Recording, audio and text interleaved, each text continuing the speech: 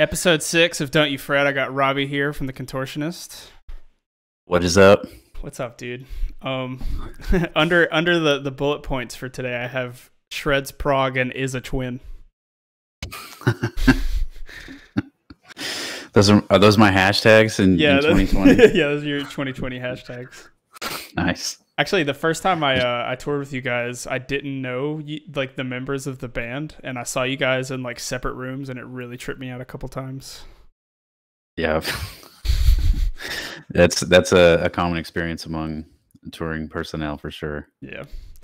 It's like what what did you like gain 25 pounds and, and your hair is different now? Like what? Yeah.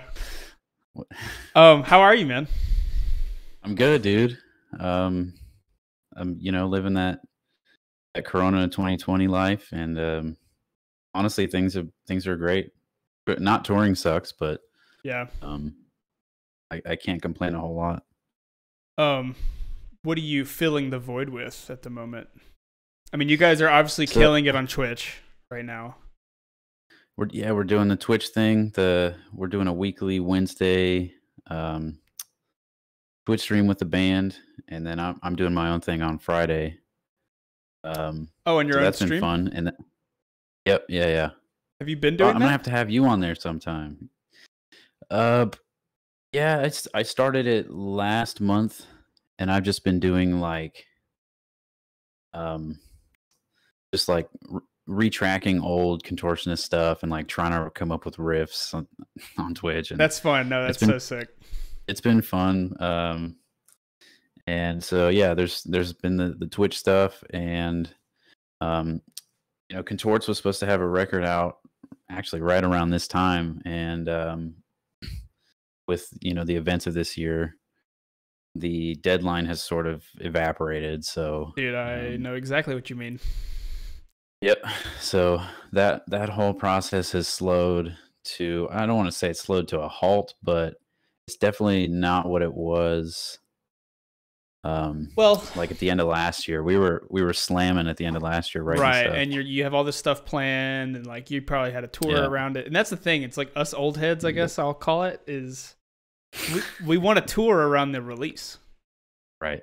but it like who knows when that's gonna happen again? It's crazy. It, That's the thing, yeah. Yeah, man, it's crazy Um, crazy reality. Yeah, we have a record we're just like sitting on that's ready, but we just don't know what to do at this point, and I guess, and like Oh, really? we're playing the single game for a little while. Okay. That's Yeah, cool. Yeah, How many singles do you guys have? I don't know yet. We we have Okay. we have like this Dude, I'm- long, extensive like timeline put together right now. It's like super mysterious and weird. Yep. Uh we're that's kind of where we're at. It's it's mysterious even to us. right? Yeah, that is kind of that is very true as like for us as well. So, yeah. Um, dude, I loved touring with you way back in the day. Uh, we're already good friends, so this podcast is going to be super fun. I think. You're also a guitar yeah. player I look up to a lot still to this day. Oh, dude. Likewise. Oh, come on. I was I was creeping on your Instagram. I was like, dude, this guy's got riffs. I have like three. I have three whole riffs. Um, uh, real quick before we get know how it started, yeah, I know. Before we roll into it, I have two sponsors. I always just give a shout out to. Um, there's logos Word. all throughout my my layout here. Uh, Seeds Coffee. If you go to the link underneath the chat, you can use "Don't You Fret" as a coupon code to get. I think it's like 25% and free shipping off your first coffee order, which is sick to your house. And then we have a guitar pedal company based out of Birmingham, where I live, called Swindler Effects. And if you use "Don't You Fret" as a coupon code, you get 10% off your whole order. Fun stuff. Very cool. Yeah. Swindler effects. I'm gonna have to look into that. Yeah, look at their website. It's really cool. As actually, as a matter of fact, um, you know, if you're ever in town, they have been nice enough, been nice enough to give me an entire demo board. Oh my god. Yeah, Look it's like it's their NAM board, so I can literally just play with every single thing they have endlessly. Is that What's that thing on the bottom there? Is that a uh, like a patch bay The rectangle. So in the middle? okay, Yeah. on the front it says programmable looper. So I'm gonna stick with that. Okay. But Gotcha. there is a lot of like power within this thing. Like I know it's basically like a pedalboard brain, if that makes sense. Yeah. Yeah. So, so you can like program uh, like preset, um, you know, patches that have certain pedals turned on at certain times Yes. and, and that kind of thing. and I, I really I really Very need to learn more about that because you know okay I'll just dive into a little bit of history I played bass in Erra for a couple years when I joined the band and That's I right. I remember you telling me that. yeah I sold all my guitar equipment growing up to buy like a bass and some bass gear to play an Erra and then like two years in they're like you want to play guitar and I'm like cool dude that's sick so uh I bought I had some crap and then I bought a Kemper and then I've just been using it ever since. Nice. So like as far Sick, as man. like yeah, as far as like gear and like heads and pedals, I'm really ignorant when it comes to a lot of that. So like I've been taking this quarantine as like kind of a chance to uh dabble and play and I might be making the switch back, which is a weird topic for a lot of people. To switch back to what? Tube like heads. amps? Yeah. Tube heads? Dude. That's sick. So the reason It's- being is I got the Revv, the G20. This little guy. oh, right yeah. I saw that. Yeah, it has twin torpedoes built into it. So Um, okay, so basically it's it's an I me. yeah yeah it's an IR load box DI. So oh, I- you were asking me right before we started. Um, tomorrow I'm going to be on the contortionist Twitch stream for those of you who are watching. Uh, so we have to be sure to go Oh hit them a follow and Sean, stuff. hold up, dude. I've, I've muted you and I can't figure out how to unmute you. He's a boomer. Forgive okay. him. Sorry. Sorry, dude. It's okay. you you're like you're talking and I'm like, how do I how do I do this? And I then- you're just then I playing. completely muted you. It and then the video's in the way, and I okay, sorry. So twin torpedoes, they're right. So okay. Tomorrow I'm going to be on y'all's Twitch stream, the Contortionist Band, and right before That's this, Robby was asking me how I send my guitar audio to, I guess, basically my audio interface or into my computer. So I just play pedals into that head, and it DIs into an audio Mhm. interface. Very sick. Yeah. So you get like an ex, and then they have like there's like a little knob on the front that you can preload five different cab sims on. So you can just so if you like play around on the laptop and get the cab sim you want, you can upload five variants into a hardware knob, I guess. Right. So yeah, I just I basically So- just play ahead on the internet. Dude, to me th- this is like it's like the best of both worlds and and it's like maybe maybe guys will start going that way more. Um that's a kind of what I was doing on our last tour. Um, Did you have a separate my- load box? Um. Okay. So let, let me let me see if I can walk through it here. So I was I was running with the uh the Mesa Triple Crown, hundred watt version, Nice. and uh, what was I doing? So we had no cabs on stage. We sh- we showed up the first day to this uh to this tour. It was the Devin Townsend, Haken, and Contortionist tour. So sick. Um. It was it was gnarly. Both of those bands are absolutely insane. oh yeah. Um. Okay, so I was so I was So yeah, you ha- you had to have some sort of IR load because without a cab, a head won't work. Well, the thing with the the triple crown is it has the it has a load built in. Oh, it you can does? switch the load on. Yeah. So I so I'd have the load switched on and um and then I'm okay, so this is what it was. I, I was forgetting a piece of this puzzle was that the uh triple crown has an output on it that is uh line level um line level version of what's coming out of the speaker output which Okay. you can then send into an IR, uh, which is really cool. So I was hosting um, a couple IRs in in my uh, Line Six Helix in stereo, and I think I was I was just sending mono to front of house, I believe, and then stereo was just for my ears, just so Yeah. you know, just so I was having more fun, you know. So you yeah, you guys have in ears, Uh, right? You have like a full in ear rig. Yeah, yeah. Yeah, yeah. That is super sick. And uh Yeah, that's yeah, man. that's was, like you kind of the move I want to move to. Like, because Yep. man, even Kempers are sick. I think Kempers are the closest thing to a real feeling amp as far as like a digital thing goes. Um, Mm-hmm. but I hate my in ear tone no matter what. I hate it so much. Really? Yes, dude. I feel like my in ear tone is just constantly that monitor tone that the sound guy can't get right. You know what I mean? I hate that so so much. Good old days of the house monitor guy, dude. Dude, I used to I used to just tell monitor uh monitor guys to just cut just mute the monitor and I would just crank my cab up on stage. I would just deal with it. Like I don't care. Like I just I rather that. That was kind of the move in, in those days. yeah. Yeah. it was for You sure. had you had the drum sound on stage and then the cabs and that was that was all you needed.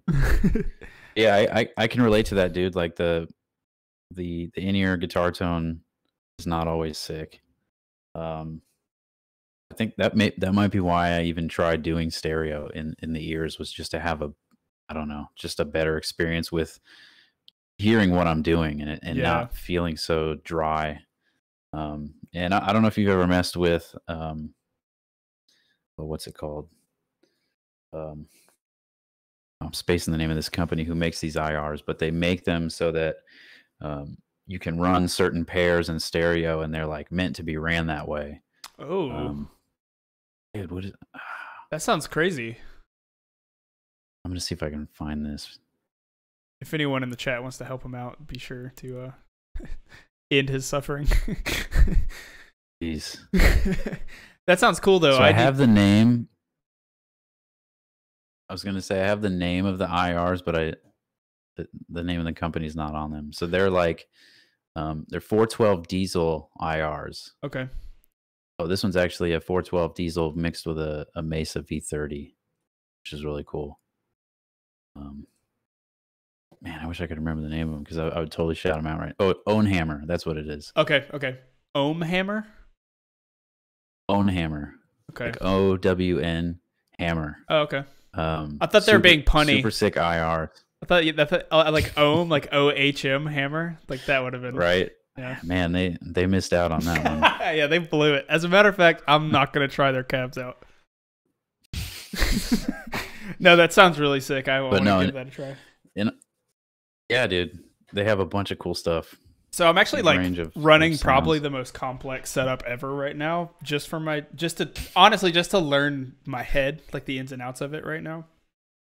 I have a couple pedals, like basically a pedal board run into the front of my head, and then I have my Kemper Okay. in the in the effects loop, and then out of the back of the head into my uh audio interface.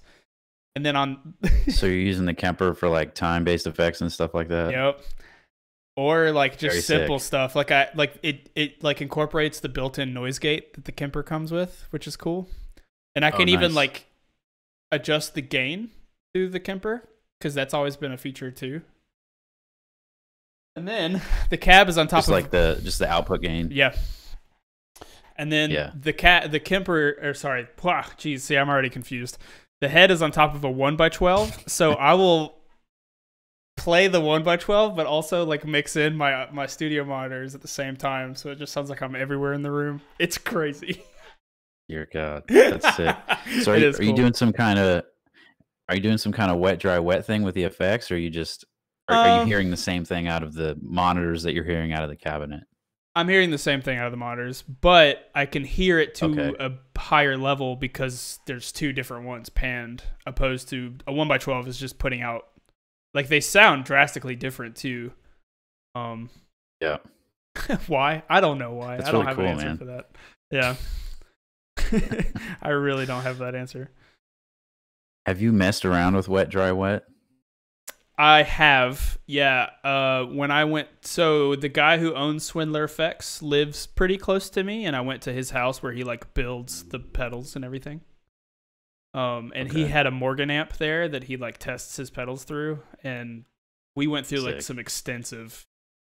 Um, they have a tremolo and a chorus that are kind of really in depth. So I played around with like a tremolo bouncing me between two cabinets and stuff like that. Super Oh, crazy. dude. Yeah. There's nothing like it. Yeah, it's really wild. But that's also like kind of Just the effect I'm swimming. Yeah, it's like kind of the effect I'm getting from this cuz it's like coming from so many Yeah. different areas of my room, my office, I guess. Right. Anyway, sick. I just like we geared it, we gear nerded out way too hard in the in the beginning. uh, let's let's. I have like a couple of questions that I like run through in the podcast just to keep like a structure to it. Um, tell me about young Robby learning guitar and listening to music and like what music was like for him. Young Robby was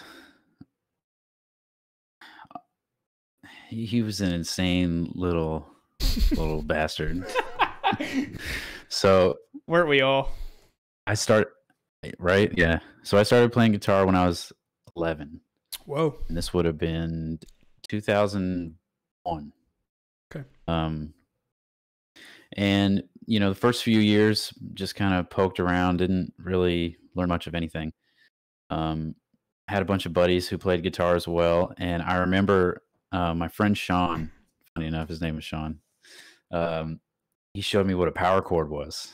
Ooh, game changer, bro. Because I, I didn't know what a Yeah, power yeah. chord was. I was It's funny- Like, Yeah, it's funny that people who like know like the E chord and the A chord, and they're like, "Why don't you do it like this?" And they just like riff out a power chord, and you're like, "What?" I remember those days for sure. But yeah, dude, he, he this kid showed me a power chord and it just forever changed my life. You know, I was like, that's how you make a guitar sound like that. Because I always like I always knew that electric guitar distorted sounded cool and it had this it had this thing going on, but I didn't, you know, I was just a stupid little kid. I didn't know what was going on. Yeah, Um so yeah.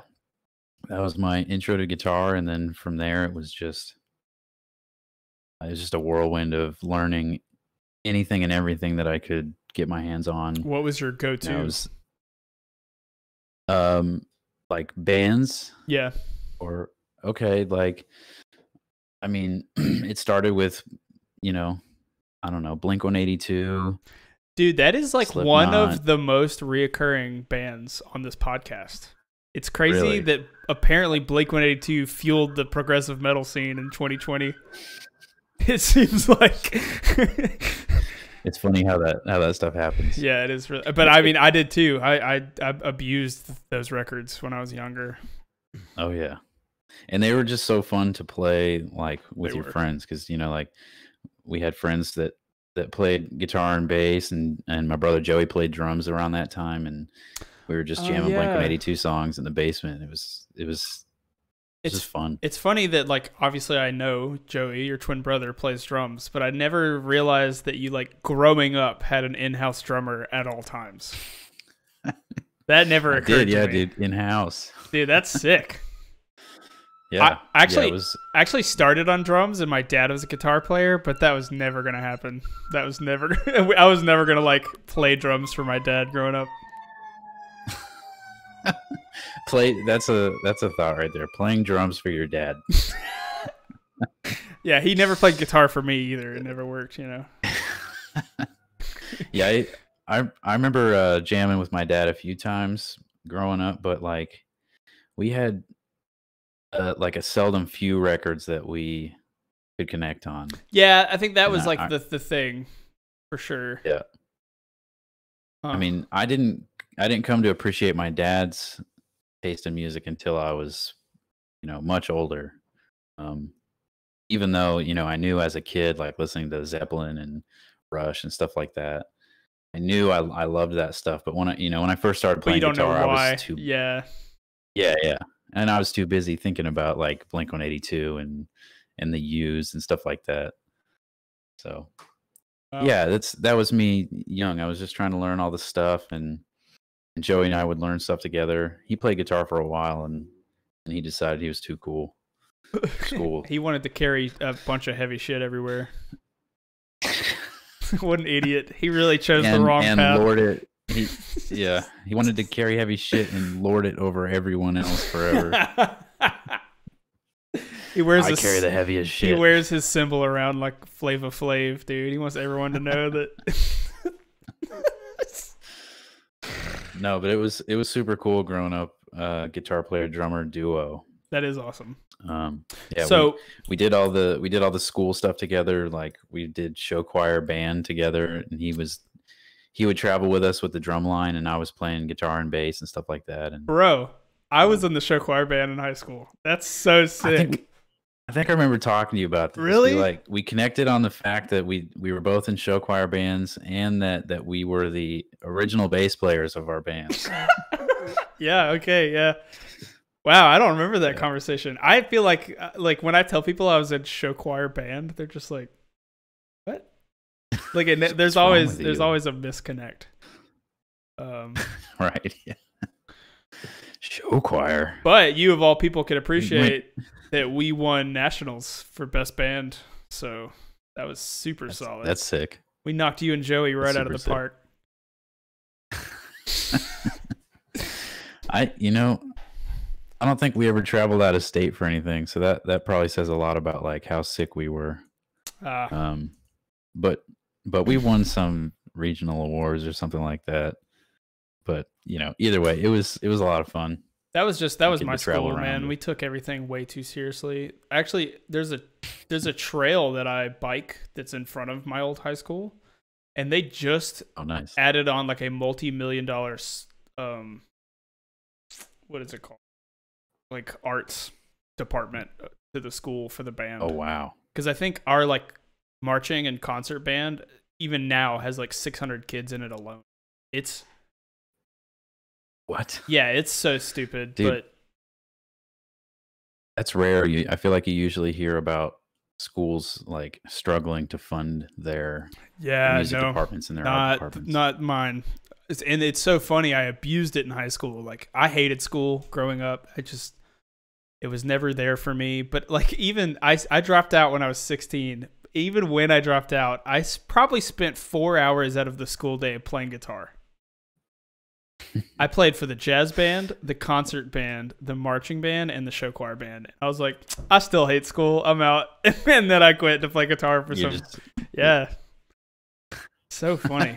they they tried. They're like, sign Sean, for all the guitar. you can play guitar in school. I'm like, nope, I'm out. I can't do it. but yeah, they uh I hear you, man. Yeah. Whew. It's a lot of super important. I wasn't- You know, graduating Yeah. high school. Yeah, I wasn't the best student myself, um, but music definitely probably got me through it. And uh, yeah, and, and then I was on the same path as you, yeah, we're st- we're we're both touring touring in some band. stuck at home during a pandemic. um, writing. So you you were young Robby. You were jamming out to Blink. Then, I guess I don't really know the timeline. You played bass and contortionist first, I guess, and then yep. yep. are what. What's the contortionist original lineup? Were you a newer member, or were you an original on bass, or what? So the OG lineup was was Joey, Cam, um, this dude named Jake. He was the singer. And the keyboard Uh, this- player, right? I think he, yeah, I think he smashed the the vocoder around a little bit. Okay. That um, that little chord keyboard that that folks might have seen Mike playing um at Yeah. our shows. Yeah. That thing's that uh, that thing is mine, and it's been used by every singer in the band. like, it's since- older than most of the band members. It is, yeah. That's it's so basi- good. it basically is a band member at this point. yeah. Shitty little piece of. I, I, I'm kidding. I, that thing is is is all right. Um, but yeah, uh, some kid named Tom played guitar, and then I think Joey and like invited me to a, a practice one day, and he was like, "Hey, you want to come, like, play some Coheed and Cambria songs with us?" And I was like, "Fuck yeah!" And uh, So Joey was so- in the band as a drummer, and you you didn't you were no part of it.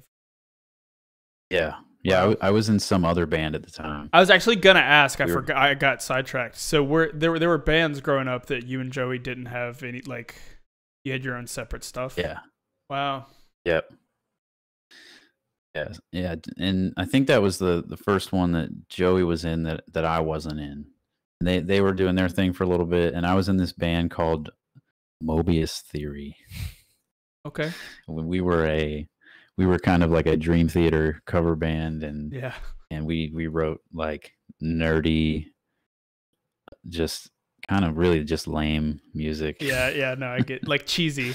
Cuz even like some Dream Theater is cheesy, but it's Dream Theater, so it's like Oh, dude, it's the ultimate cheese. yeah, but it's sick. Um, um, dude. Speaking of which, have you heard that new Petrucci record? I haven't heard the record. I heard a couple singles and they're they're sick. Like I listened to them. Yeah, it's it's dope. I'm I'm probably not gonna go like listen to the whole thing and and you know get real stoked about it, but like it, it was cool to hear Petrucci and Portnoy playing together again. And in like a very Um, modern sonic way. If that makes sense. Yes, Yeah. absolutely. Um here's the thing about his music is I probably wouldn't listen to the record just on my own. Like if someone like sat me down and showed it to me, I would listen to it. But if he did a playthrough for every song, I would watch every song from beginning to end.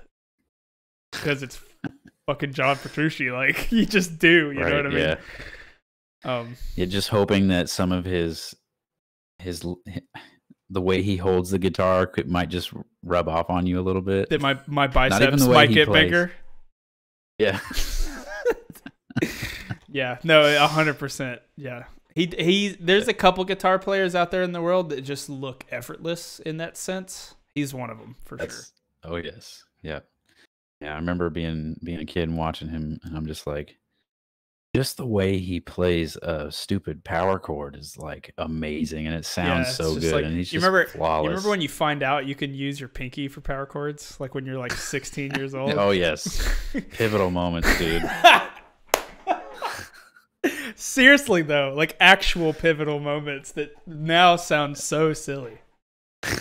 God.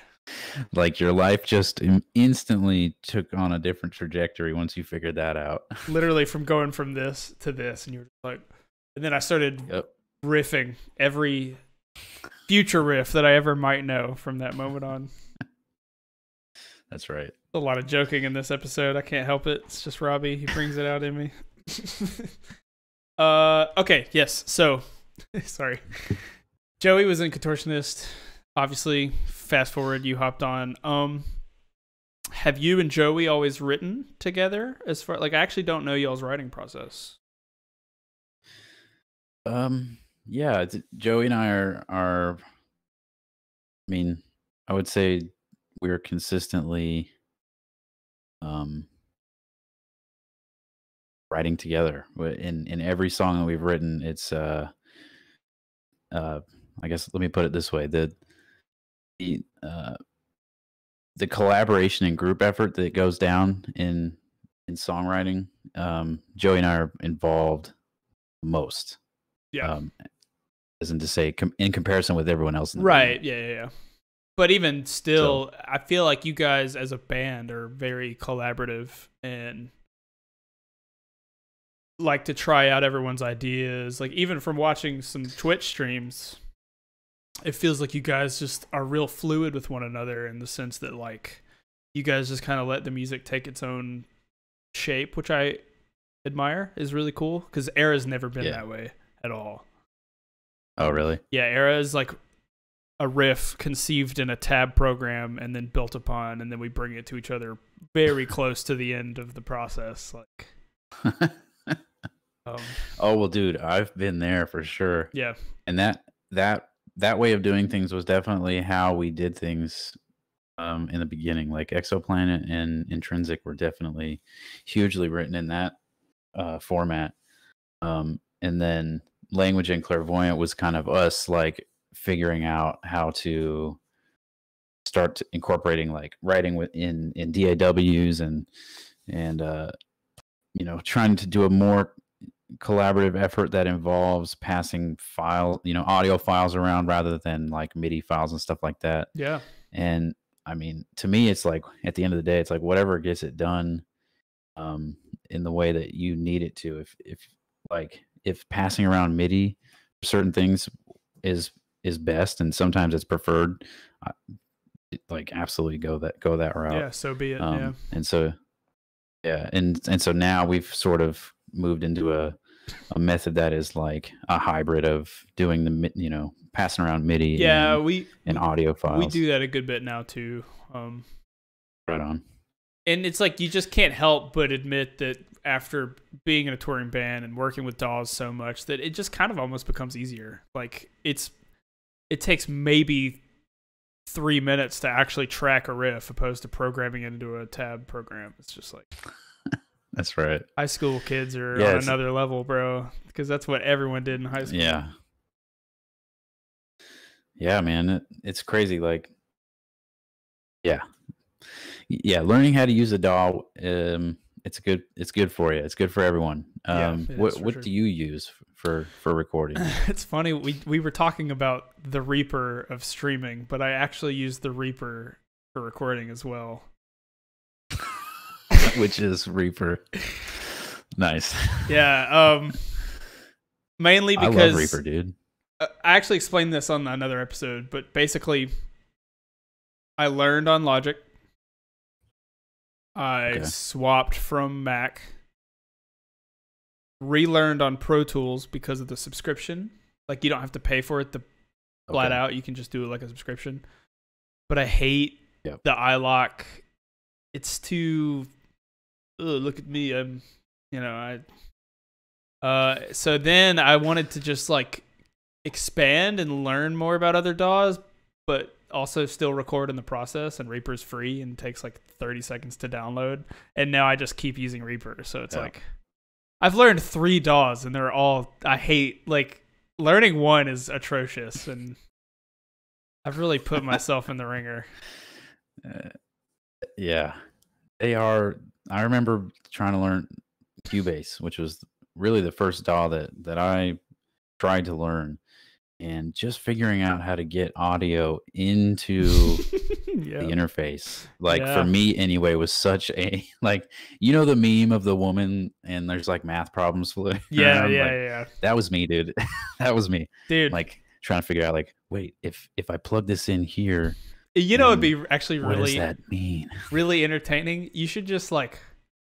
It would be amazing to take like a recording like engineer or something and then just force them to record a song on a completely different DAW from scratch and just and just watch their world explode.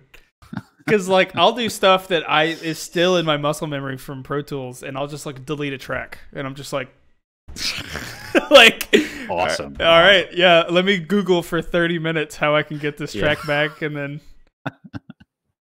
Yes, Dude, super true. Yeah, that's that's the life, man. yeah, I love Um, being a musician. Yeah. I um there was a moment where um so I was using Cubase Elements for for years, which is like the the entry level Cubase um you know, the entry tier level Cubase. It's like what they give you with their um, yeah, audio interface. Yeah. Yeah, you, you Yeah. buy an interface that comes with Cubase Elements. Um actually it comes with Cubase LE or something Yeah. and you can upgrade to elements for like i don't know it's like 60 bucks but um, there was a point in time where um, i had reached i finally found one of the limitations of cubase elements and i was like well this fucking sucks and and uh and so i started looking at other options and, and i had logic but for some reason logic has just never i don't know there's something about it that I don't know. I just, maybe I need to spend more time with it and just and just figure some stuff out. But for whatever reason, Logic has never sat right with me. So I, I gave Reaper a shot, and I loved it.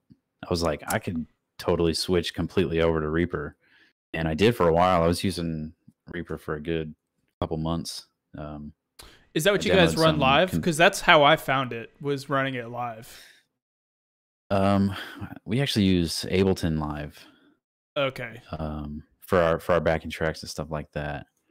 Um, but we, I've heard Reaper is is good for that because it's so light Yeah, and dude. If it's like so easy. talking about recording while streaming, it, you'll you won't even notice that uh, software is Really? Yeah, it's it takes like a megabytes maybe. I don't It's understand how. It's funny how it does all the things that all the other DAWs do, but it's like you said, it, it downloads instantly and it installs instantly and it opens instantly. And then you look at something like Cubase or Pro Tools, and the install file for that is like 12 gigabytes. I, I like And- it's actually I'm ashamed to admit the amount of times I've deleted Reaper off my computer because I'm like, all right, I'm gonna get another DAW, and then I like don't feel like it, so I just download and then start recording immediately in like ten minutes. Dude, I, I still can't even believe they don't they don't charge more for that. And even if you don't ever pay for it, you can still just keep using it. no, I'll right? That's the thing. I'll send Reaper you money, buddy. Don't worry. Like I'm still trying it out. Seven years in. They're the nicest guys over there. What's- what's- they're too nice. There's one guy in Canada just pulling his hair out. He's too nice. Is that what it is? No, but I just like to, Oh, you know, the whole Canadian Just- stereotype. It's like, oh, sorry, sorry. Oh, are you gonna pay me for that program there? No, not no. yet. And he's like, okay, oh, sorry. Sorry, sorry. Uh, just let me know. Yeah, you get it. I've heard I've heard wonderful things about their um, user support as well. Like folks will hit them up with the most heinous issues, and, and somebody gets back to them instantly, and then they sort it out. I'm just like, and then I try to call Steinberg for help with Cubase. and Yeah. it's like nothing. It's funny to imagine that the people asking for the heinous requests also don't pay for Reaper. They're still trying the Right. demo version out. Gosh. They ask you when you call, and they're like, "Do you? What's your license for Reaper?" And you're like, uh, "I don't have one." Like, "Okay, all right, bud. Let's let's figure this shit out. Gosh. Yeah. Re- Reaper's Reaper's too sick, man. I, It I'm, is. I'm gonna start using it more. I think. Yeah. I think after this actually- conversation, I'm only going to use it from here on out. Officially endorsing Reaper. Yeah. But yeah, I've, I I'm um going to put a little Reaper recently- logo over there. yeah. I recently switched over to uh, Cubase Pro, Okay. which was which was uh, awesome. So is that is I- that the top of the top? Is that like max tier Cubase? That's max tier Cubase Okay. right there, and it's super dope. All like, I didn't even all the cool things that I didn't even know I needed to use in a DAW are in Cubase Pro, and it's just like, I mean, I should have done this five years ago. Yeah. Um, but and I think some of that stuff you can even do in in Reaper. Um, something that that I really dig is the uh, the batch export feature in, in Yeah. Cubase Pro. Okay. I, I I have to wonder if Q if uh, Reaper does anything like that. Yeah. sure it does, um, but- I so this is like a little nerdy thing I've done a couple times. I like to go and download the stems from like some of the biggest pop songs. Um, Oh, dude, yeah. So like I played around with an Ariana Grande stem pack the other Dude. day. Me too. Really? Which song? Uh, I don't know the names of her songs too well. Um, So I I I actually was looking at this session the other day. I was uh, it's the song. I think it's called Problem. no, I don't. I think I think it's one of the It's the older one- ones.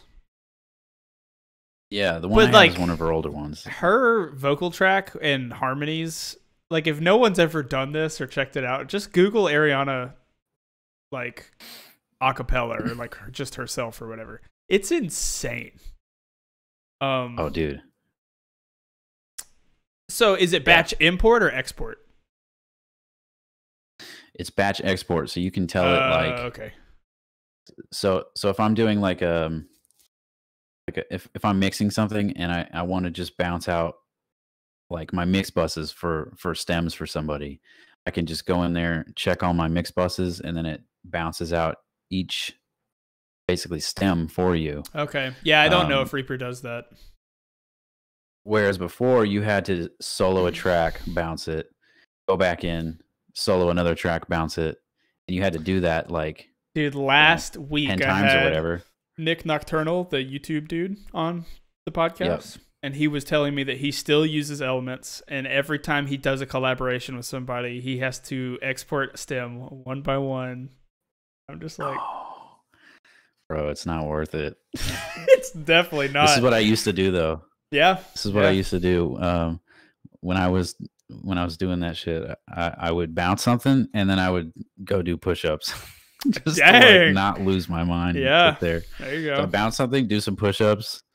You know, three minutes later, it's done bouncing. Go bounce something else. Just do some more push-ups, and it's just like I need to stay focused on bouncing this shit as fast as possible Yeah. right now. So like, Yeah, see, that would not be do me. to? I would bounce something and I'd start a video game and the match would last 40 minutes and then I would start bouncing something else. So they'll get their stems by next Tuesday or I something. mean, Right, right. yeah. I mean, that's still me, but, but the ideal. but I'm is- getting is jacked. doing push-ups. Well, yeah. There you go. Gosh. Yeah. Um, Good times, man. sorry. Uh, alternate universe. I have like little notes in my phone for for these, and so I just I almost troll myself. This one says alternate universe, no music. What that translates to is if you weren't in a band or you couldn't be in a band, similar to how the pandemic is these days. What do you uh, what do you fill your time with? You weren't playing guitar and stuff, Well, it's kind of what my life is like right now. right? So, Yeah, yeah. So, I've well, not always, but uh, in the last I don't know five years, I've gotten real into photography. And um, so I I started a, a, a real estate photography operation last year, and um, uh, I've been doing that. Um, d- I'm doing that a lot during during lockdown and and even up until till now. It's kind of slowed down in the last few months, but I was surprised during lockdown. I was I was shooting like nine, ten properties a month. Well, people are buying and selling right now. I know that for a fact. Yeah, yeah. yeah, yeah. The market's insane. My fiance and I have been looking at stuff just because we're trying to get out of the renting game. And uh, Oh, yeah. yeah, I- it's I'm out of it, it's, and I'll tell you it's worth right it. now. Yeah. You you you're a homeowner. Yeah, I am a homeowner. Damn, dude, that's awesome. Yeah, we own a three bedroom townhouse. Uh, Very cool. five minutes drive from Zydeco in Birmingham. oh, very good. Yeah, so you know exactly the area I'm at. Yeah, Um, yeah. Yeah, it's like a half the rent I pay for a one bedroom here. Insane. Yep. That's that's the thing, yeah. Yeah, our rent right now is well, our the rent in this in this area that we live in has just been skyrocketing over the last few years, so it's just to the point where it's, it's just stupid. Yeah. So, Well, yeah, and trying like to get out of that for sure. it, like buying a place is scary, obviously, because you have to have a down payment. It feels like a lot of money, but then like you like if the property value goes up, you get it all back. It's insane. Like when you rent a place, you're just literally kissing that money goodbye monthly forever. it's like, Yeah. um, but uh, it's, it's not a good feeling. it's not. No, we we've done a lot to our place since we've moved in, and we plan on doing more to it. Probably, possibly. We don't know if we'll be here for a long time, but who cares? Like it's ours. We can be Yeah. for as long as we want to. So it's like, Right, right. How long have you guys owned that place? uh, we've actually just moved in a year ago. Okay. Yeah. Well, dude, I don't, congrats, man. That's yeah, thanks, that's man. huge. Yeah, it is. It is big. It In a homeowner. yeah, it is. It's crazy. It, it's nice. It just feels Um, like I think a lot of people are just scared of owning a place because it feels permanent, but there's nothing per I mean, you being around real estate of all people know that like it's it's just as easy to sell a house as it is to buy one, if not easier, probably. It's very true. Yeah. And and even now with the- the markets, it's crazy. Um, and hopefully we're not headed into a Crash. economic downturn. Yeah. You know. Um, although I do I do think some some of that is inevitable. Yeah. Um, you know, to to what degree can we um spread it out over time? I don't know. Hopefully, some smart folks can figure that out. But, Right. Well, and it's even Um, too like if you can't sell your place, you just rent it out. you know, like you you have so many. I don't know. I mean, I guess I'm biased because I I do own, but like I see I've seen the light. Yeah. You know, it's like I get it. You've seen the light. Yeah, I get the value in it. Yeah. Uh, so Yep, real it's, estate uh, photography. It's it's. Yep, I've been I've been doing that for for about the last year. Um, I love doing that. You know, you you, you show up, you're working by yourself. It's a, you know, it's a long day of of doing all kinds of stuff, and it's you know you're going out and you're shooting somewhere, and some days you're shooting multiple spots, and then you're back home and you're staring at a computer screen editing for what what feels like days uh, Yeah. sometimes um and that's really the the part that i don't like Um, it's That's, just that's pretty. Uh, stuff. that seems to be the the common conception with all photographers, including Yeah. the the ones in our scene. You know, the the touring band photo dudes and Oh yeah, yeah. I know, dude. Like, um, on on the Reimagine tour we did a, a couple years ago, um, the photographer that we brought out on that tour, this dude would literally stay up until like 5 a.m. editing photos, and then he would sleep. He would sleep past load in, and just do it again. Ugh, like yeah, it's miserable. by the end of the tour, he was like the only guy that didn't see any sunlight or anything like that. He just looked. He just looked rough. Yeah. and I was like, man, you're doing such a good job, but I feel I just feel so bad for you. Like, dude i have major major respect for our like one i'll i'll sh- shout out is ray duker the august burns red fit for king i've toured with him so many Yeah. times dude he'll I think I follow him on Instagram. oh he's amazing he'll throw me like a f- Yeah. dropbox folder with everything i'd want from the day before and i'm like how did you get these to me dude these are insane and he's doing it for like three And bands on a tour looks awesome. yeah it's crazy Oh yeah, yeah. have you so have you played around Yeah, with any is- other type of photography um, I'm actually working for a, a photography studio here in Indy called uh, Interstate Studio, and um, we've been doing uh, school portraits. It's, Okay, uh, yeah. it's fall portrait season time. there so, you go So I've been in schools, um, hanging out with the little COVID monsters. And, um, Yeah, yeah.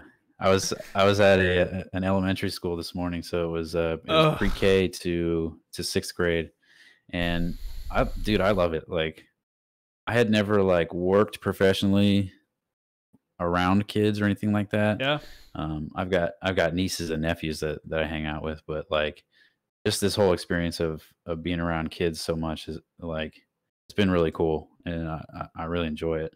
And obviously, the the photography part of the job is fun, and um, That sounds like a hard age to photograph.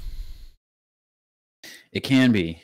Yeah. I've actually found that a lot of younger kids are well, it kind of depends on the school really, but sometimes the younger kids are just easier to work with than the high school kids just because the high school kids are you know, they they hate everybody and Okay. and yeah. So one year in high school, I, it's so funny. I never thought I'd think about this ever again in my entire life, but you're a portrait photographer, so one year there was a line, a long line to get our portraits taken uh, for the yearbook, and we kept passing around the same button-up shirt. no one stopped us. So if you go to that yearbook, literally like 300 dudes have the same shirt on. And so sometimes sometimes the, the the whole page will just be one plaid shirt. Oh, it was so good, dude. yeah, you said that was in high school? Yeah. Dude, that as a as a photographer, I would get a kick out of that. Yeah, yeah. Uh, as a school like secretary, I would probably lose my shit. Dude, it was so good. And you got to know that probably no one thought anything of it, but then the person like gathering the photos was like yeah, they're like, oh god. like like 5 6 months down the road like they they were not ready. Oh my god! I bet the I bet the photo studio got fired the next year. So good. That's insane, dude. What Yeah. a great like yeah. Solid prank for high sure. school prank. Yeah. Yeah. Cuz it's harmless. Well, it is yeah, yeah. until the photo studio gets fired. Right, yeah. RIP photo studio. We Well, that's had, awesome. Um, we had a, a prank in high school where um, somebody released um, three pigs into the school, and they they numbered the pigs one, two, and four. so they thought there was a third running around? They thought they thought there was a number three. oh, that's so genius. God. these, these pigs are just running around. That's so good. Dude, the mind of an Uh, evil high schooler. Super I know, dude. conniving. It's yeah, it's a special thing, man. That's hilarious. Years from now, they're gonna find the the dead bones of a pig, numbered three. Right. Never found the pig. That's so oh, good. That's awful. Uh, so wow, yeah, you're so you're just doing that full time right now, uh, or just like as much as you can be, or Yeah, it's right now it's full time, and um, I'm doing I'm I'm mixing some stuff, and I'm doing some session work as well, and but that stuff is not included in the uh, the no music alternate reality. right? Yeah, that's true. So- Yeah, my my universe where all Uh, music yeah. has been stripped. yeah, yeah, no music. Live Nation has come out and said It's canceled. no one plays music. Yeah, music is canceled until there's a vaccine. Yeah, which ugh, I don't want to even go down that road. I know, right? Super scary. It's Um, cool to see some shows popping up though, like they're doing the social distancing thing, Yeah, you know, with the outdoor festivals and it is I mean, cool, but then honest- like for my genre, like our genre, like you guys aren't as heavy now, but like like if you're playing heavy music and people are socially distancing, it's like shitty. it, like it doesn't work. yeah, it's just yeah, not it gonna- doesn't work. can't have a socially distanced mosh pit. Yeah. Yeah, that the uh the Coheed shows that we did, a lot of those venues were uh, seated. Right. So like Yeah, yeah. even the front row, folks were sitting down and that was just like this is so weird. it is super strange. Dude, I, I saw you guys in Atlanta with intervals. That was the last time I saw you guys. Um at the uh and it had like half seating and I loved it. It was such a cool vibe. Yeah. Yeah, that venue was really cool. It was the something Playhouse. Yeah, I had never even heard of it, and I've like been going to Atlanta for shows my whole life. So yeah, I- we that was the first time we'd play there. Eric knew it just because he he lives there. But uh yeah, that was a great venue. That was awesome. Um that whole tour was was really cool. Yeah, I can only imagine two bands on the package. Yeah. Oh, that's right. Just Yeah. two bands. I remember leaving that night, and be like, "Man, that sounds sick." And then like in three weeks, I was about to leave for like a six band package or some shit, and I was like, oh, "Man, oh god. you guys were like all just chilling, happy in the green room. Like had all your like each person had a couch." Gosh. Yeah. Dude, six bands. I'm I'm I'm thinking back to like uh Summer Slaughter. There's like what Mm, that's that's the big one. Yeah, we did stupid like we that. did Summer Slaughter. I guess the year before last. Now, Whew, what a Oh, did, did you guys do the whole run? we did six and a half was it? weeks or maybe seven weeks. Yeah. Uh, I I'm not gonna. It was a tour. That's all I'm gonna say. okay. I I hear you, bro. I hear you. Yeah, yeah. I was I was reminiscing um on our tour that we did with Tesseract. It was uh you guys and Tesseract and us and Skyharbor. Sky Harbor. Yep, that band. That Yeah, band's sick. Yeah, I got Skyharbor, yeah. Super sick. Yeah, I missed that tour, but we were in like a super awkward place as a band. I constantly look back on that tour and just like wish it was like the only tour. No, it was Ian's last tour, and like Ian only lasted an EP. Oh, right. And then we just have like these two huge sections of our band's timeline, and then that was just like in that little awkward. Yep. Um, but like Tesseract's one of my favorite bands of all time. So sick to tour with, and I, ever since you guys put out Language, you guys have been up there. So it's like we do we left that tour and we had like vocalist issues, and we were like, man, are the, either of those bands ever gonna take us out again? Because that was awkward. Um, Yeah, that, no, but you guys you guys seem to have made the recovery and, and oh yeah, bounced for back sure. fully. Yeah.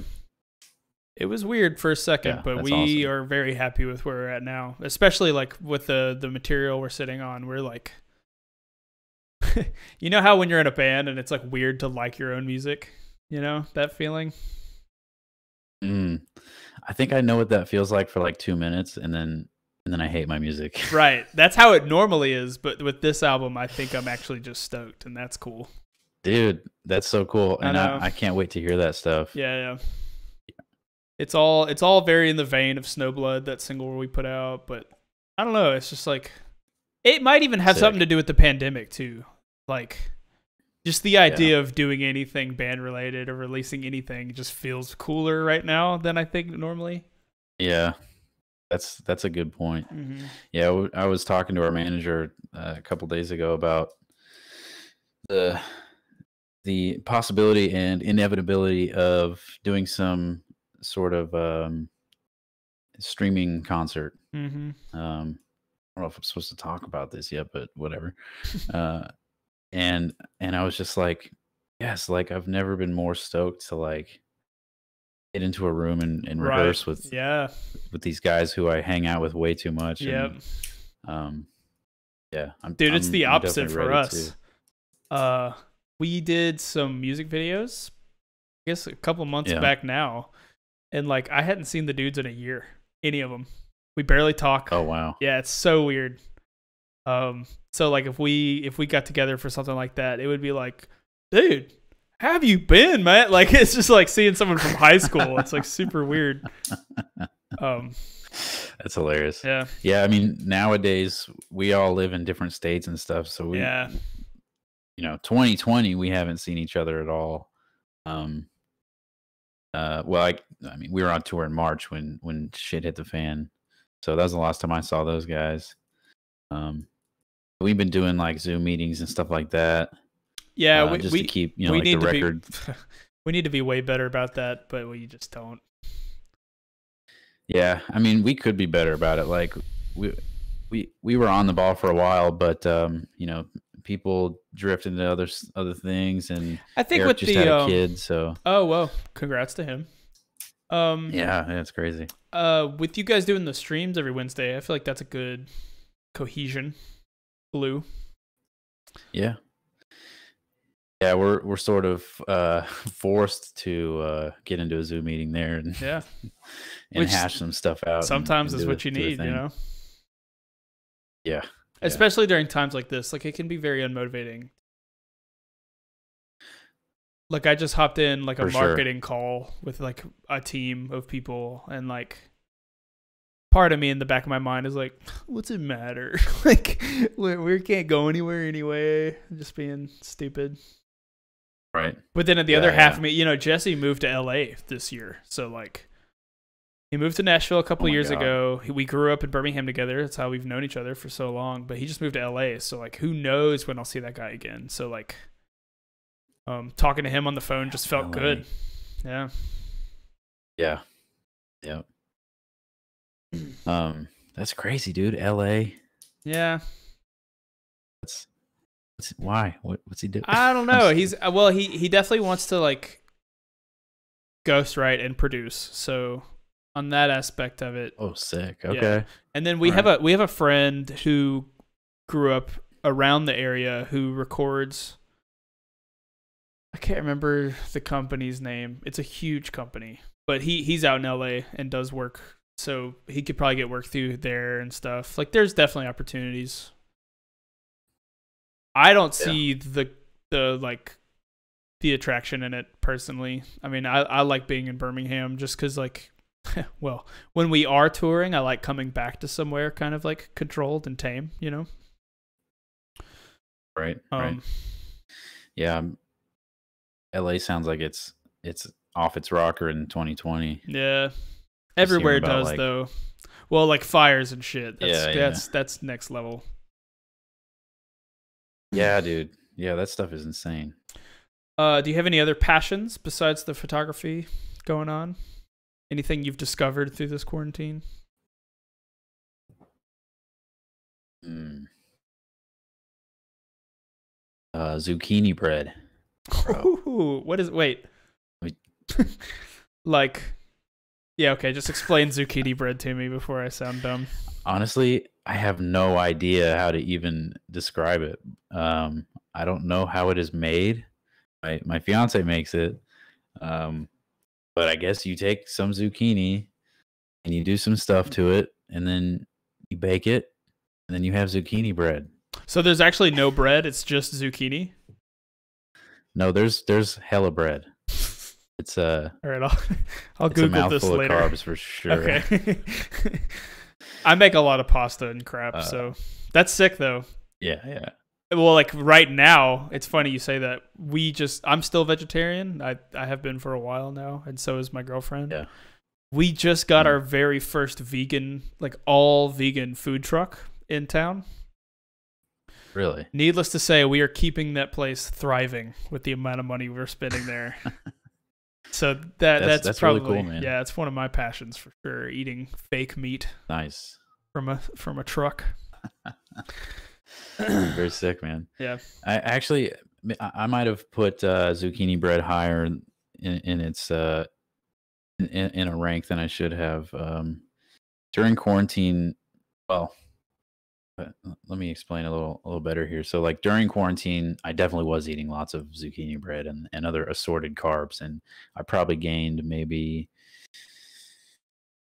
10 pounds. I don't know. It was, it was getting rough there for a Yeah. sec. It was, you know, um, and at some point i just was like i have to i have to make a change because i just didn't i didn't feel good i I wasn't sleeping good um so like instantly i actually stopped drinking coffee i don't know why that was like one of my one of my ways to deal with with life but i stopped Ugh. drinking coffee It would that's not Um, how I would deal with life. That's how I deal I with know. I don't. I honestly, at this like now, I don't know what I was thinking. I think I had slightly. No, lost my I mean I know bit. there's benefits. Um Yeah, yeah. yeah.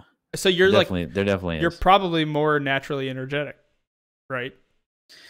That's that's the idea, uh, anyway. And I, I think after a while, I was a little more just naturally, you know, um, fueled up, um, and I was sleeping better. That was the thing that I that I noticed was that I was sleeping a lot better.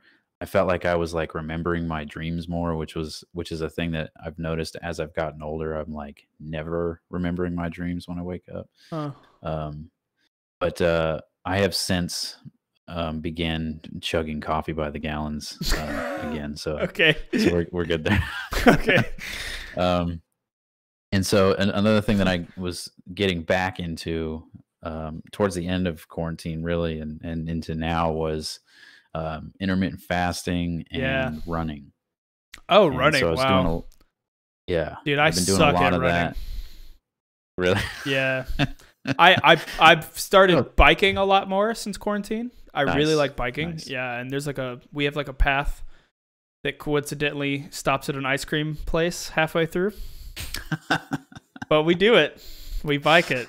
Um, Love that. I yeah, I just I've Nice, never man. dude, I played soccer growing up and I even hated running then. Like I would be like, "Can I just I'll be goalkeeper." like uh I've always sucked What, at running. what is it about running that you don't like? Um, I have a really like even when I work out, like when I like lift weights and stuff, I have a really hard time controlling my breathing. Um, Okay. and I'll just like find myself Like like, having a panic attack halfway through a run, like, like, Like you're just you're just not breathing and then you start panicking. yeah, yeah, I- I feel like I, I can relate to that in, in Okay. some ways. Yeah. Like like you like you're you're not thinking about it and when you do start thinking about it you, you realize that you're Well- like breathing like this like yeah, and then it like escalates, and then you're just like dead in the street. yeah. but like, okay, so I guess this is the best way to word it. When I play a show on tour in the summer, we'll say that the amount of cardio I'm expending during that show is far greater than it would be if I was running. But running sucks way, way harder. it's so like it's. I just do it bad. I'm just bad at running. I just Yeah. never. Yeah. you, you know what's what's helped me sometimes with running is um this, maybe, this might be a little too nerdy but running to a metronome Whoa. um uh, yeah because I, I found that that like running to music was was helpful and and i enjoyed it more um and then sometimes it was just too much to like try to keep up with music uh, all the time so i tried um setting up like um i don't know there's a few metronome apps where you can like automate a metronome Yeah. and you can like and so like i'll do a run where where i'm starting at like i don't know 140 bpm and then i'll i'll um, automate it up to 160 over like 10 15 minutes or something like that Whoa. um I don't always do the I don't always do it that way. Sometimes I'll just set it to 146 or whatever and just just Well, go for it. Okay, and isn't like a super healthy way of running like if you do more like a sporadic like jog to sprint type vibe too? Can you automate a click to go like 100? Up and down. Yeah, because I feel like that would be that's like some next level training. I feel like That's a good question. I feel like with with something that um sort of like dialed in and, and figured out, I would just like get into Cubase or something and make, and Yeah, make, yeah, a, yeah. make a click track. But they say that's the best type of running is like like a Do they jog. say that? Yeah, because it's supposed to. Uh, it has something to do with like cardio and it's the essence of itself. Like it's all about raising your heart rate, and it's easier to raise your heart rate when you do more sporadic movements, opposed to like your heart can adjust to running at a pace. Yeah. So like when you first start running, yeah, your heart's gonna be like, oh, what's happening? I have to pump more blood. But then after you're running at that same pace for ten minutes, your heart chills out because your body kind of regulates. that's what it does. Yeah, Yeah. Right, right. Um, yeah, yeah. I think, yeah, you, that's pretty much the summary of, of what, what cardio is, is sick for. Um, but I'm, I'm gonna have to try that, like jogging and sprinting and jogging and sprinting, because I, I, for whatever reason, I've gotten stuck into like just going at a consistent pace and then maybe at the end bumping it up a bit and just busting. Well, I mean, the, it's like- the it- last half mile, whatever. it's all at the end of the day, you're still exercising, which like True, yeah. true. I just know like that's actually kind of why I enjoy biking because especially around here, you're gonna hit hills and really random points and Oh yeah, like there's some points of this this like little circuit we've created for ourselves around our neighborhood where it like whoops me and then we hit a downhill and i'm like Yeah. like i'm just stoked that i'm just rolling i will forever be a skinny fat ass dude uh, just like always actually i gained Dude, a I, gained a lot of relate. yeah, yeah, yeah. I gained a lot of weight this quarantine, but literally got COVID and dropped a lot of weight. So Oh, really? yeah, Had, so, what was your experience with COVID? Did it did it whoop your ass or it Did it it destroyed me. No, it did not take it easy. really? No. Um, I worked. It's so stupid. I worked one day. Like I like I went into quarantine since like April, right? Yeah. I didn't go out. I didn't hang out with people. I didn't. I wasn't an idiot. I didn't go to bars and shit. And then finally, the coffee shop I work at opens back up. I work one day and I get fever sweats that night. Which oh my god! I know that I didn't get it from work. Like how COVID works is I got it like weeks prior or whatever. But like it, Mhm. it was just it felt so demoralizing to finally get back to a life and then the night of like oh, dude. and like I was just like there's no way this is happening. I don't have COVID. Like it's probably just like a seasonal thing. And then I got tested and I was Yeah. positive. Um it was gnarly, dude. It sucked. Uh Did you have the whole difficulty breathing thing? I didn't until afterwards. And I don't know if maybe I just always did, but like the fever and the headache and all that kind of like shadowed it a little bit. Uh, it wasn't until after I like went through I had to go back into quarantine for 2 weeks, but like real quarantine. Like I couldn't shop for groceries. Like I was literally just like bedridden in my guest bedroom for 2 weeks. It sucked so hard. Um Damn, dude. and then after She- that, two so weeks did, went uh, over. Did your girlfriend get it too? She did, but she never showed a single symptom. Oh, really? Yeah, I don't That's know. good. Um, but she even had to quarantine for two weeks still, just because she tested positive. So she just took a little vacation. Um, Yep. I had my birthday through that time, so that sucked too. I was like, this, oh man. yeah. Uh, so the, uh, after the two weeks went back, I went back to work, and it like, I worked for like four hours. I was like, can I go home? Like, I was like, I was just like not hanging. Like, it just, I wasn't. Damn. And then after about a week of that, Are you, are you good now? yeah, though? I'm back 100%. Okay, Yeah, solid. that's good to hear.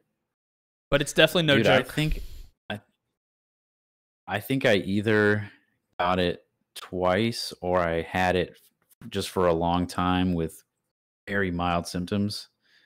It's kind of hard to tell what, which was which. I mean, either way, I had fairly mild symptoms. Um, I think it was the last couple days that Contorts was out on that um, on that Devin tour. Um, I was definitely feeling something in my chest, and I was like, "This okay? This is I'm dying." Yeah, because you it's know the, it's a shitty around feeling. that time was like, yeah, around that time it was like, obviously we we, we knew way less than we know now about it. Right. Well, even that's the thing too. It's um, like I still don't feel like we know that much about it because me and my girlfriend, two people living in the same house, having two completely different experiences. It's so weird. Yeah. That, and that's yeah, that's the crazy thing is how differently it it it just like it whoops some people and then other people are just like, yeah, I couldn't smell stuff for a day and that was it. yep. you know. I never But- lost that. but yeah, I was- thankfully. I had that for a day. Okay. And it was the weirdest it was the weirdest thing ever. And I was telling my fiance, I was like, I can't I can't taste anything. And she was like, You're full of shit. It's like, yeah, it's dude, like I it's seriously- it's one of those symptoms where you're like, to what degree? But I've heard uh, another guy that I know from uh, from my job. Uh, he like hardcore lost sense of smell and taste, and he has like a newborn baby. And he said that like his friend would be over and be like, "Do you need to change her diaper?" And he's like, "I can't smell it." Like like his baby would Oh, just no. shit himself, and he couldn't tell. oh man, that's that sucks, but it's kind of funny. Yeah. it- that totally sucks. yeah, Did he get it back, or was is he one of the I think he one of the long haulers? he he's definitely lost his smell for a long time, like comparatively.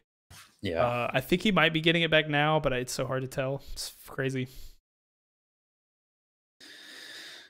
man, it, yeah, But I couldn't imagine the respiratory problems on tour because shows are like, like I said, Oh, cardio within themselves. That's gnarly. yeah, yeah. It's it's it's a no. It's a non-starter right there. Um, yeah, I think. Yeah, from what I experienced with the the shortness of breath stuff, because I had some of that too.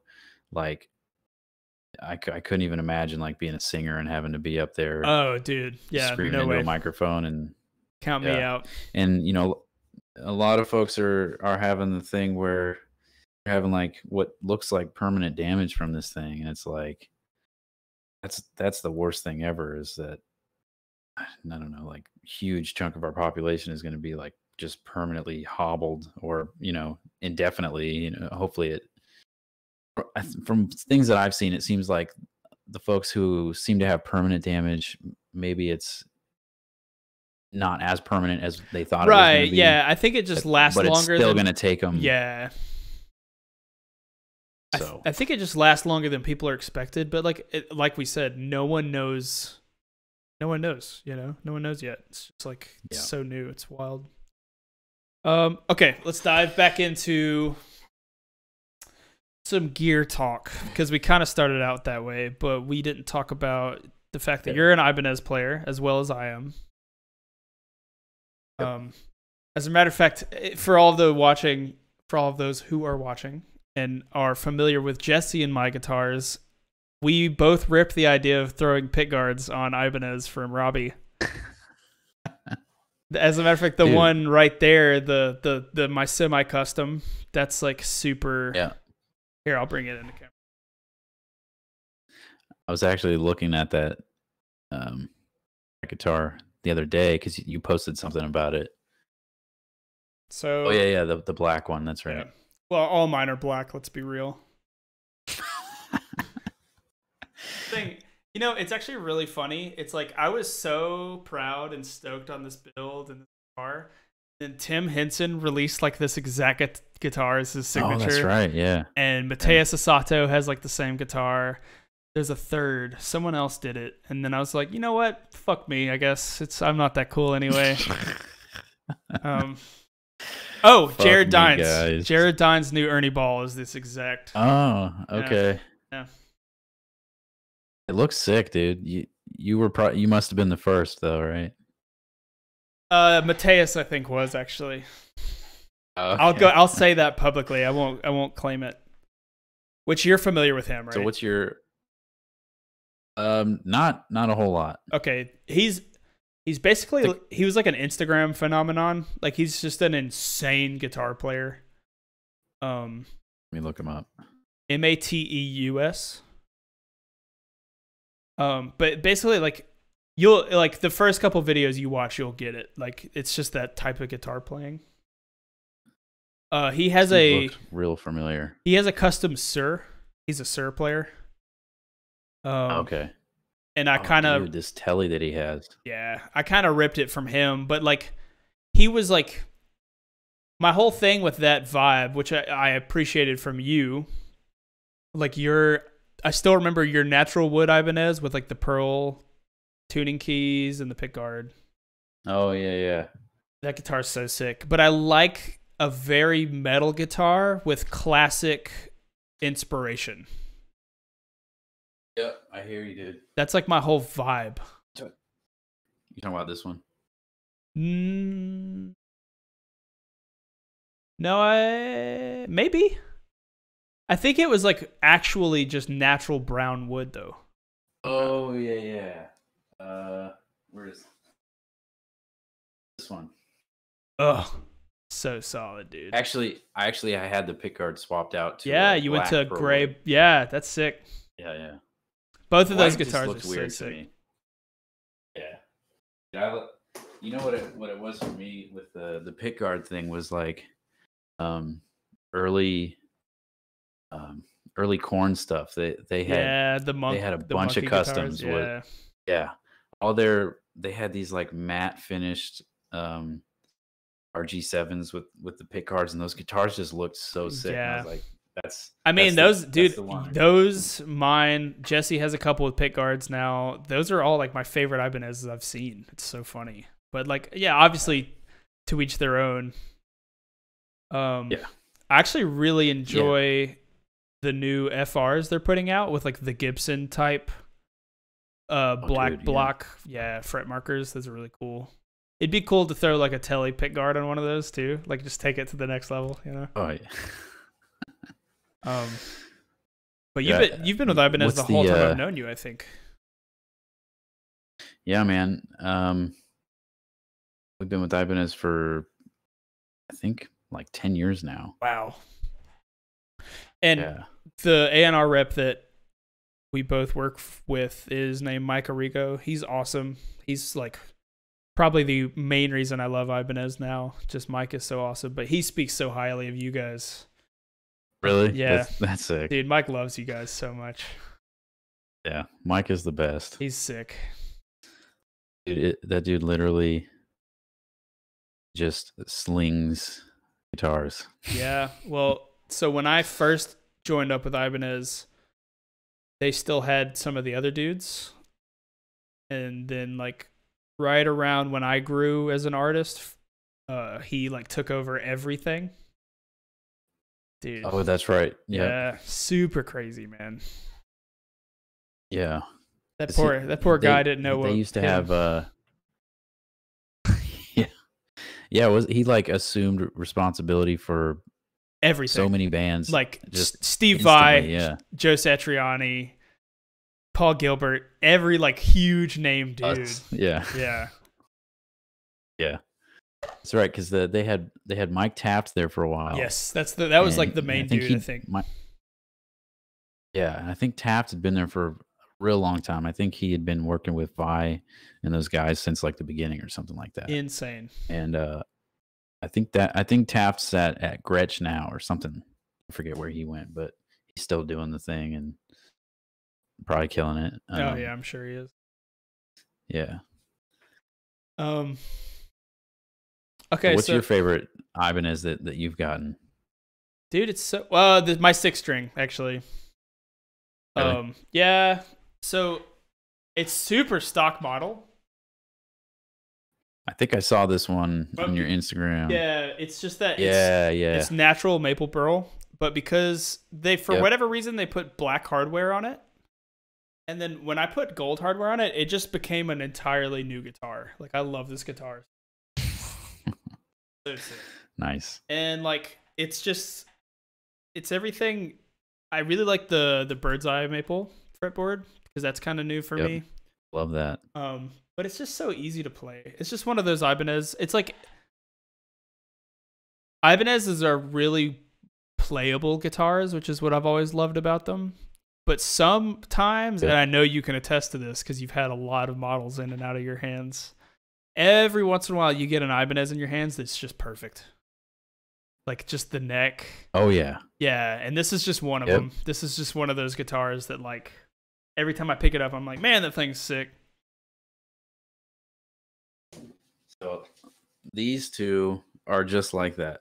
Yep. This one, I think this one also has a bird's eye maple board, and this one is also super stock. It's got well, the bridge is Oh. is uh, updated to a Wait, let me Uh, see the the front of that one a little better. Is that a seven string too? it maybe. No, it's a six. Oh, okay. So the Um, the cut there's I think that same colorway they made in a seven string with a tremolo. Yep. Yeah. That's yeah. what that guitar is. Oh, really? It's a modded so- and out, You put a solid finish. custom painted uh guitar that model. Okay. Okay. Yeah. It's yours is the seven six five two. Dude, I will AHM never ever remember an Ibanez model name. You can't even you can miss me with that, dude.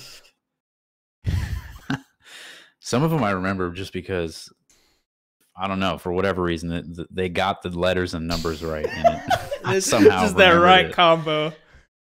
I'm gonna Yeah. I'm gonna start name So that's what. I'm gonna start renaming all my passwords to like my socials to Ibanez model numbers, and no one will still get them because they're so confusing. bro, what? What? Catch me hacking you, bro. that RG twenty one Um, two F uh, Z nine. Um, yeah. So this one has. Oh, I'm spacing the name of this bridge. It's the Hipshot. I think they actually call it the the IB or the IBI or something like that. It's But not the it's nice and rounded. So it, no, it's it's a Hipshot something or other. It's made out of some metal that's supposed to be more resonant. Um, Okay. was real dope. And then these are my custom uh, Mojotone pickups. what? Let's talk about Super that. sick. You got custom pickups? Yeah, dude. So this is a this set. Well, actually, the set on this guitar, um, it used to have a set called the Level Heads. Okay. and that's that's what this is and they at some point discontinued that pickup and which was what i was using on a lot of my guitars Yeah, that's a so was shitty like- feeling. yeah so i was just like could we just take that pickup and maybe make a few tweaks to it and and see what it sounds like and they're like yeah and so i've i've got most of my guitars have that set in it some of them have Uh, I get what you're saying. That's sick though. some more yeah um Uh, yeah love just, Mojotone just real quick, they're passive five way select or what? Yep, uh, passive five way. A couple of them have coil taps on them, um, and then one of them I don't have in here at the moment has a, a piezo built into one of these bridges that's on this guitar, Oh, that's so sick.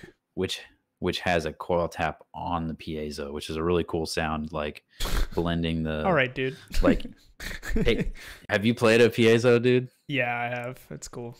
there's they're sick and Yeah. and I, I like you would never think to run that into like high gain sounds but Yeah, It- right. it's got a really cool sound to it yeah. um especially if you blend it with like a co- like if you were to throw this into a coil tap position like the second and the third position and then blend that with the piezo whoo, Yeah, it sounds hey. sick. Especially with cleans, I'm sure too.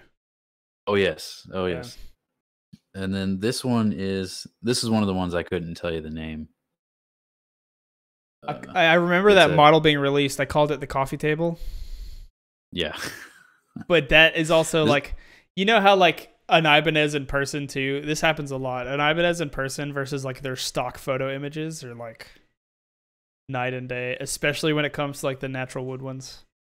It's it's weird how that happens. Yeah, I don't I don't know what it is, but yeah. So you look at some of them on the website, and you're like, all right. It well, it's it's uh, actually so funny. So that six string, I looked at it on the website. I was like, that shit's so ugly. I don't want that. And then I I needed a six string for tour. Like I just had to have one. And I asked Mike to get that one. I was like, just put like some I don't know. Oh, so the pickups in that one are actually passive EMGs. oh, cool. And I love them. But they don't make them for seven strings, of course. Like why would they? so I love those pickups, and I had them sent those pickups, and I was like, I just need those in a six string. I don't care what you do with the guitar. I just need a six string. So Mike did it upon himself to like Yeah. match all the hardware and do like a some stuff with that guitar, and it's my favorite Ibanez still to this day. It's so cool how that works out. Nice, dude. And people even I've see that one and they're like, "That what model is that? I can't find that anywhere." And then I send them the shitty, like, stock photo.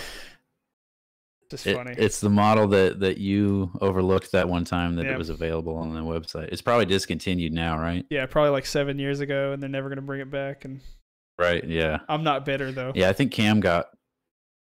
I think Cam got one of those, and and uh, yeah, that, that one sounds great.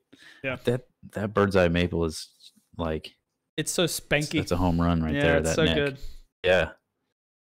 Uh, that guitar is is it ash or is it something else? I think it is Ash. Yeah, it's a it's a crazy light guitar. It's also easy to scuff up, but because it's maple burl, yep. it's like whatever. Like who cares?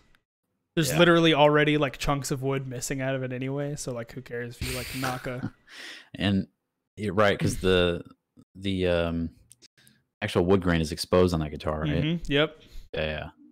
That's what's cool about that one. it is really cool. Yeah, nice, nice and filled with Sweat. dirt and sweat and shit. yeah. yes.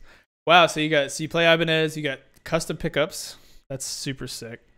Um, I guess I we're not playing live, but you you already you already broke down like your last live rig. It's the um I kind of, I kind of told you some of it, um, but let me. I can break it down more if if you want to know. we don't have to break the whole thing down, but just tell me your favorite parts about it. I guess like what separates it and what you're stoked about. So we talked about doing the the IR thing. Um, so that's cool. Um, so I'm so it's really the rig is kind of a hybrid of like um analog and digital. So I've got a few pedals that that I had on my board that I was really into. This is one of them right here, the uh the Empress Germ Drive Okay. which is a germanium drive pedal. Um, I've never really been huge on germanium, but I've never um, even heard of them. percent um, Empress or or Germanium. germanium. yeah, it was it was a thing like in classic rock more. I I feel like Okay, it was yeah, you know it's the sound of like fuzz pedals really, uh, Okay. or a lot of fuzz pedals. Um, so this pe- this pedal is like if you wanted an overdrive to be just thicker, Yeah. Like a- would- Like This- a throw a fuzz on a chorus type vibe, and it just makes your guitar super fat. Not not a Yeah. chorus effect, but the chorus of a song, like where you want like a really fat. Oh, yeah, yeah, yeah. Yeah, sorry, Yes. sorry. That was- Absolutely. yeah. Yeah, you you got me there. We were in nerd mode. I was like, wait a second. yeah, I had to suck you out of the the effect world. Well, it's like it's like a very uh, Creed type vibe thing to do, right? Like you, you when you play these fat power chords in your chorus, you throw like a, f- a fuzz, and it just like actually fills in a lot of the low end. I think is like the mentality behind it. Yeah. Yep, yep. Yeah, so I was I was really using that and let's see where it well it's around here somewhere, but and I'm sure you've seen it, the uh, uh Horizon uh precis- precision drive. Yeah, I played that at NAMM. It's crazy. Yep. Yeah, yeah. So I was using that for for the riffing stuff. So like exoplanet songs and some of the earlier stuff and e- even a lot of the newer stuff if, i needed it to be you know an overdrive like a tube screamer or something i was using that Yeah, because it has a gate built in too, which is insane. Like dude yeah it's so the tight. gate on that thing is dope yeah, Yeah. I have Um, the then yeah or I should have the flux on the way soon. What is that thing? It's a it's a reverb delay combo in Oh, a, in a pedal casing this big. And then there's Okay. there's a flux button. It, I could be wrong saying this, but it just like you can swell. Like you can like if you have like an ambient lead, you can just like completely swell it into like an arena type reverb with the physical button. Oh, cool. So like if you're play if you want like regular reverb delay, you can just play like like how my lead tone is is basically my rhythm tone really wet basically. right. And then if I have like an insanely like just dripping just single note hold, you can flux but like flux button it and it just like spaces out. It's Oh, pretty dude, cool. That's thick. I think there's a video of Plini playing with it, and it's cool, like what he's doing. But I don't, I don't know where I'd be able to find it now. Have you seen the? Um, I saw Aaron from Intervals using this. It's the uh, Digitech FreqOut, I think is what it's called. Or Mm-mm, haven't seen it. it's, um, when you were describing that the flux, how it, it you hold it. I guess you hold it down and then it swells or something like yes, that. yeah. So yeah, this Digitech pedal is it's meant to be like a like a feedback generator. Whoa. like, you could- hit a chord and then and then hold down the the FreqOut pedal and it just gives you feedback you want just instantly and I don't, I don't really know how it works but God, that's um, so sick. saw I saw him doing it and he would you know he's doing his lead stuff and then he gets to the end of the lead and he throws on the FreqOut and then he's just like just riding it out and it's just like Oh. bro like yes That is that's super sick. That is Yeah. super sick. um so that's that's definitely like that's a wish list item right there There you go. um what else did I have going on? It's on? funny you say wish list. Like right now, if I don't have it on all the time, but like if I'm playing like League of Legends or like whatever video game I'm playing at the time, there's like a little donation thing, and it's pedal board. It's like if you want to fuel my pedal board, that's my wish list. pedal right board there. fun Yeah, I like that. I need to start doing yeah. that. That Twitch life, dude. Um, there, there's really one other thing I would mention in in uh, the live rig, and that's just the all the stuff that the Line Six Helix does.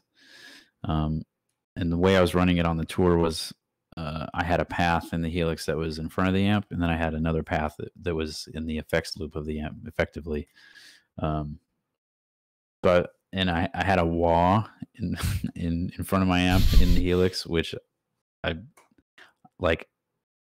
There's one band ever in my life that I thought used well, two bands that I thought used a wah in a way that was like cool.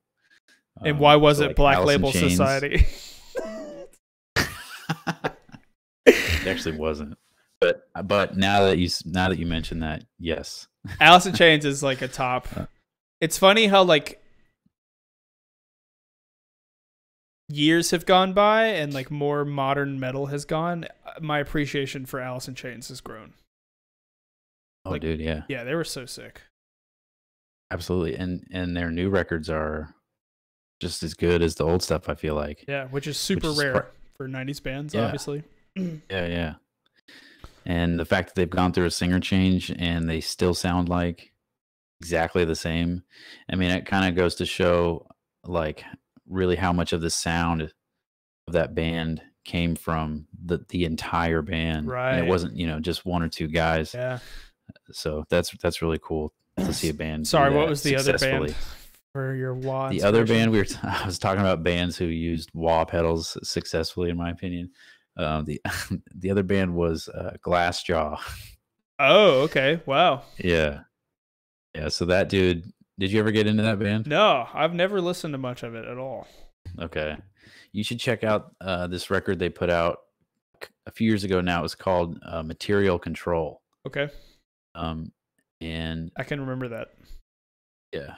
Um just the way that that guy uses wah pedals. He kind of does like the like the tremolo lead thing, but he's he's like he's slowly doing the filter sweep with the with the wah and just the way he just the way that he places those leads into songs is so cool to that me. is sick. So it's like Wah has such a poor taste in my mouth and always has because Dude, of some bands like yeah.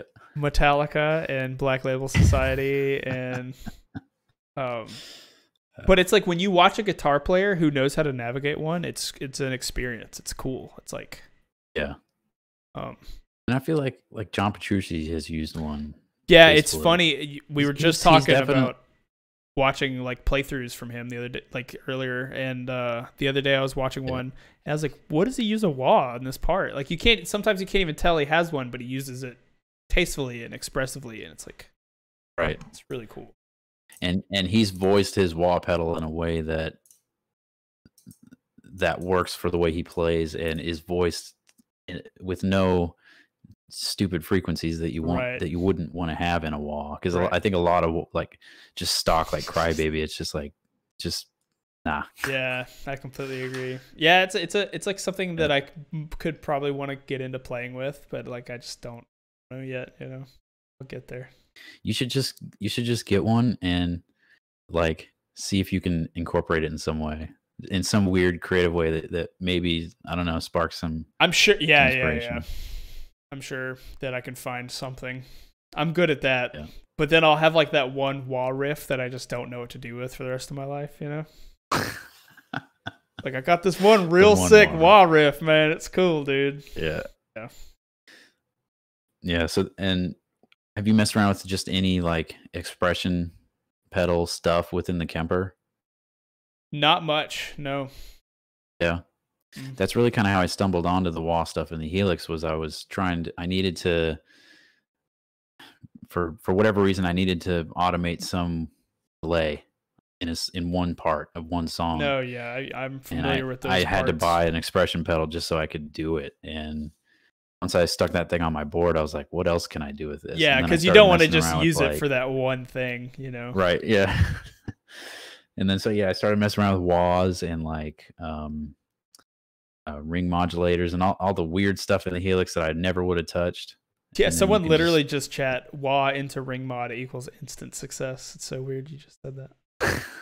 He he must be from the Yes, contortionist dude. stream. Are there folks in the chat? Are they? Are they? Oh yeah, we yeah we've just had people just chiming in. I I typically just ignore Nice. them until the end. Then I incorporate their love.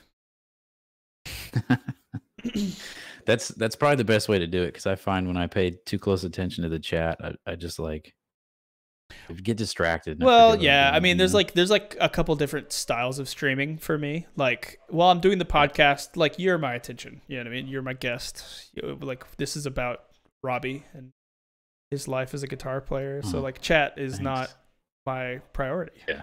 But when I'm screaming at video games, that. I'll read everything chat has to say. you know? Who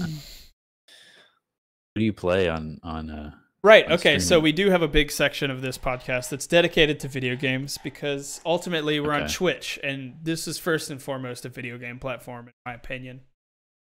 Um, these days, I'm pretty much just playing League of Legends, which is like super sell sellouty because it's just a huge like Twitch game, I guess. yeah Um, and like I'm I'm now I've kind of gotten like a little side gig during quarantine where I actually compile highlights from streamers for the game.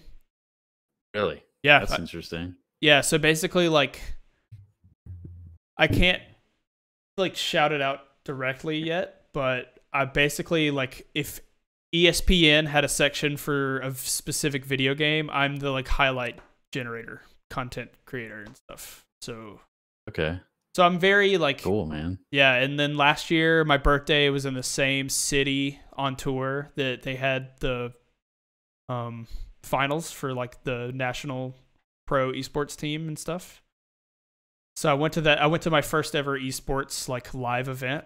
Ooh, it's sick. It's crazy. Damn It sold out Little Caesars Arena in Detroit when we were playing like the shelter down the street. And oh uh, wow yeah, so I went to that and it, like that kind of changed my view on video games a little bit too, like how there's like actual like monetization within it and like it's a huge community even though like as gamers we always feel like the sheltered kids in our bedroom talking to your friends online, but like when you go to an arena of gamers, it's really it's a weird feeling. Oh dude I can't even imagine But yeah, That's so awesome, I pretty much just play League right now. Um do you play video games? so I do now. Yeah. Uh, since quarantine, I I got back into video games.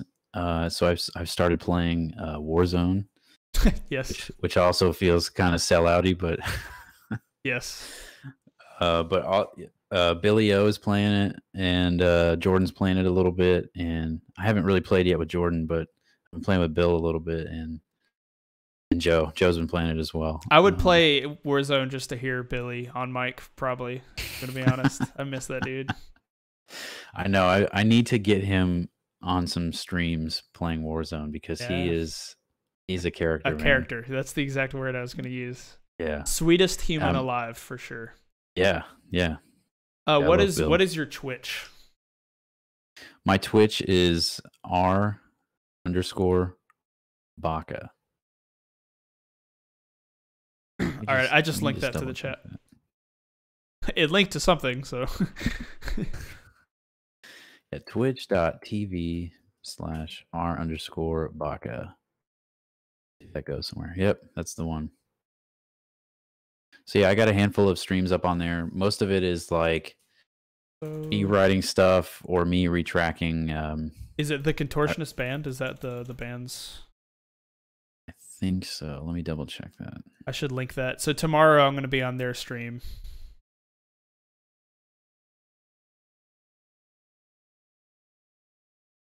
Yeah, that's right.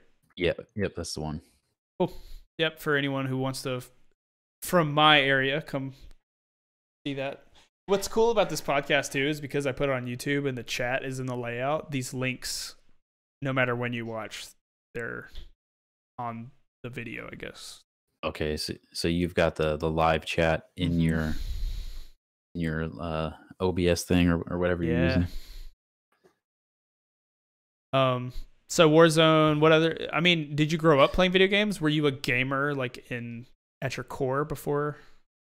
Um, I, I guess yes and no. I when I was when Joe and I were young, we we had a, a 64, and that that was like the beginning of the the video game stuff. Um, played lots of like Star Fox and and Smash Yeah, Bros. The and classics, dude. Yep. Um, let's see. 64 was my first two, I think. And there were like 64 hidden gems that like really sculpted me as like a gamer. Like I always forget the name of it, but there was like a shooter where you could like turn into a beast or something and like it was so weird. I can't even begin to See, I- actually describe what it was. Just some sick game that is Yeah. no longer in your Far in the your memory. memories of yeah. my childhood. Um, we Joe and I were not allowed to play shooters, Okay. at least at, at the at the age of sixty four. So, uh, um, we we kind of missed out on a well when we were at our friend's house. We we were all Yeah. about it, but Yeah. um, so we I think there was like uh whatever that James Bond game was, uh, 007. Goldeneye. Yeah, oh yeah. Yeah, lots lots of that. Um, that is always like a classic. Like that's so many people started out their shoot like FPS careers on GoldenEye. Like it's just Yep. like a, yeah, yeah, yeah. such a sick game. I remember, th- I remember, like being that age, seeing that game. I remember thinking, like, this is like the best looking game I've ever seen. Like, this is this looks so good and it's so much fun. And then you look back at it now, and it's just Ugh. like, really, So- this is what that game. this is what? I liked. Yeah. It's cool though because it really with me? shows you like how I guess encapsulating those worlds were, especially for like you as a young age. Like I had those games for sure. Um Yep. So did you guys expand beyond that? Like were you ever into the PlayStation or Xbox worlds or So we had a PS2. I think we missed out on the PS1, which I think kind of coexisted with the 64. Yeah, yeah. So like as as a genera- There's- like a video like a console generation, you went from the 64 to the PS2, which I think Yep, was also yeah. pretty common too. Yeah. So PS2 games that we were into were like, let's see, I remember Gran Turismo. I remember uh, Shadow of the Colossus. Oh was a big yeah. So you've always you've been one of always the- played games. Yeah, Cool. yeah. Um, that's all I can really remember for PS2.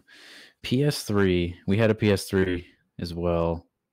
Games I really remember from that that really got me were um the the uh what, what was that called? It was the uh the Nathan Drake series. Ooh, Did you play any of those? Uh, No. Uncharted, Oh yeah, yeah, yeah. yeah. Uncharted series. Okay. Yep. Yeah. Mine So actually, like, someone the just said in chat, Dead Space. Oh yes, dude! I almost forgot about those Space. games. So I think I actually bought a PS3 because of Dead Space. I was an Xbox player, Oh yeah. and I had a Okay. roommate who had a PS3, and he was sick of me being in his room. So I think I literally went out and spent way too much money just to play Dead Space. But that franchise was amazing from like Dude, first, I- second to third. It was so good. Yeah. And there there hasn't been anything I mean, at least that I've seen, there hasn't been anything quite like it since then. Yeah, it's like especially like even like I consider Mm. Dead Space a horror game, like a like a in the genre of Oh, yeah. horror. But horror games these days are just kind of like you're existing with like a free flow choice, but like it's kind of just a long cinematic too at the same time. Like it doesn't Yeah. feel as involved, but dude, I remember probably actually shitting my pants playing the first Dead Space. Cuz Oh my god, dude. a yeah, lot of and- people will even say that- soundtrack. Oh, it's so solid, dude. It was so good. Yeah. A lot of people say the first one was the scariest, and then it got more action packed as like the series went on, like two and three. So just the first one was, I could see that. whew, it was so good. Did I actually you can't see it now. I have a poster hanging in my hallway out here that is I think it's from the first Dead Space. Um it's one of you remember the church in the game? Oh yeah, yeah. The, the like they worshipped the and- spire or whatever. Yeah, yeah. And so they had uh, throughout the ship, they had all these posters hanging up that said uh said like come come join us in room whatever. It's got like a room number on it. And you can see the the markers. There's it's this big beautiful like landscape and there's these two blue like beautiful looking markers. Remember the marker, right? That Yeah, was yeah, like the the big the thing. Yeah. So yeah, in this image, there's like all these beautiful towers or, or whatever, and then you can see all these little people like flocking to the the markers, and it just looks like this beautiful like holy scene, and, and it's just like that's so badass. Like It I- is when I saw that poster, I was like, I need this poster. So you have the exa- like the actual in-game poster, like the poster that's Yeah, should I grab it? No, it's okay. Because people Okay. people can look that up if they want to, but that's It's super, definitely a, it's definitely online. You can see it. that's so sick, um, yeah. dude. That's um, awesome. I need more video that- game like memorabilia in my house. I just have I don't have much. That's like honestly, that's like the really. That's a good one though. That's like a that's a that's a hidden gem. If you ask me. Yeah. My my fiance hates it. She she's like, what is this? That like is- you wouldn't understand, babe. you don't get it. That's good. Um, Are you Yeah, playing any video that's- games on Twitch? um, not yet, but I pl- I definitely plan on it. Okay. Um, I was thinking about doing Last of Us two, but Ooh, good one. I don't know. Did, did you did you play that one? I haven't played it yet, but the last the first Last of Us was so incredible that like I'll get around to Oh, it. Oh, dude, yes, Yeah, absolutely. One of my top five video games of all Yeah. time. so good. Um, Last of Us two was. Well, you haven't played it yet, so maybe I shouldn't say anything. Okay. Was it good? It was a video game. Oh, okay. All right. I get what you're saying. It was a tour. That's that was Yeah. yeah. Yeah. I get what you're saying. but nonetheless, it's still like it's still a beautiful looking game. So you've already played lot of the through game- it. Yeah, I, I I played through the whole thing. Nah, I don't play that on Um, stream then. That one's kind of like you should you should try something new. I think. Something new, yeah. yeah. I I need to dive into something new and just and just do that on Twitch. Um, there was a game that I played a couple years ago now that I haven't really heard much about, and I know it's got kind of a cult following. Uh, and and this this game called uh, NieR Automata. Automata. Yeah, yeah, yeah, yeah. The like, Have you heard of this? isn't that like anime Dark Souls? Isn't that what the vibe is for that? I'm not. I don't. I never played Dark Souls, so I'm not sure. But Yeah. Someone in the chat definitely will, had will flame me. it I'm wrong. definitely has some like anime vibes to it, Yeah, and yeah. it's like kind of weeby in some ways. Yeah, but, yeah. Uh, the Weeby Dark Souls. I think is the weeby, yeah. but the story, the storyline, and the uh, the combat system was like so fun, and highly recommend that game to So anyone who is like, that's like what Dark Souls like when you think of like the Souls if we're going to talk about a cult following is insane the Soul series. Yeah, um and they are. They're that's- phenomenal games. Me and Jesse both are like Souls heads for sure. Nice. Um, Souls heads. I yeah like. I just made that up. It's, I'm coined that one. Uh and then they went on to do like a like a i always forget the name of it. I like I should note remember all this stuff. There's a there's like the Soul series, which is Dark Souls one through three, right? And then they released a game called Bloodborne, which is a uh, forget the name of this term. It's like more dark and culty than it is like medieval. That game's phenomenal. And then they put out Sekiro, which is like a samurai game, but they all follow this very specific recipe that this uh, company kind of brought up from the ground, which is like the idea of a bonfire being the only safe haven in the entire game. Like it's just, oh, they're so good. If you've never played those, that's something you can just like be alone and still love endlessly. Yeah. They're so good. Um. Okay, so that's that's going on the list of uh new games to check out for sure. I feel like I've had that game recommended too many too many times Yeah, it's just such to, a to just ignore. yeah, it's so good. I would actually possibly even recommend Bloodborne first. Okay. it's hard to get into like the earlier Souls games now because they're so much clunkier than they felt back then. You know what I mean? Yeah. Yep. But like Bloodborne and Dark Souls 3, though that like those combat mechanics are unparalleled to me still, I think. Can you play these two games without having the knowledge of the stories from the previous games? like? Bloodborne, yes, it's a completely set alone game. So its Okay. story is all within itself. Uh same as Sekiro. Sick. It's a standalone. The Dark Souls series So they don't like tell you a story really. A lot of the lore is in just like little bios on the items you pick up. Like it's like that level of nerdy. Um, Okay. yeah, it's wild. Uh, what I would actually say to do is just play Dark Souls 3 and then go to this one dude, one dude's YouTubes, who his entire life is just explaining Dark Souls lore, and you could get lost in that for hours. like it's just crazy. If anyone knows, that. remembers that guy's name, they can link that in the chat too. Uh. yeah, it's wild. But I mean, the Souls series, you could probably play through the story. Like if you really try, you could probably play through the story in like 12 hours. But I've probably put 200 Okay. hours of gaming into those game, like one of the games. oh damn. It's crazy.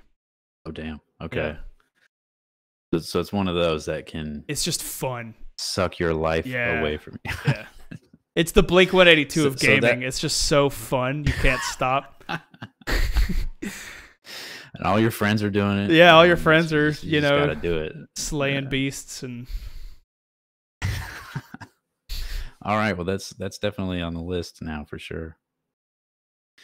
Um, and, I was gonna and- say, yeah. and if you uh, want to play something on stream, people love to watch you fail at Dark Souls.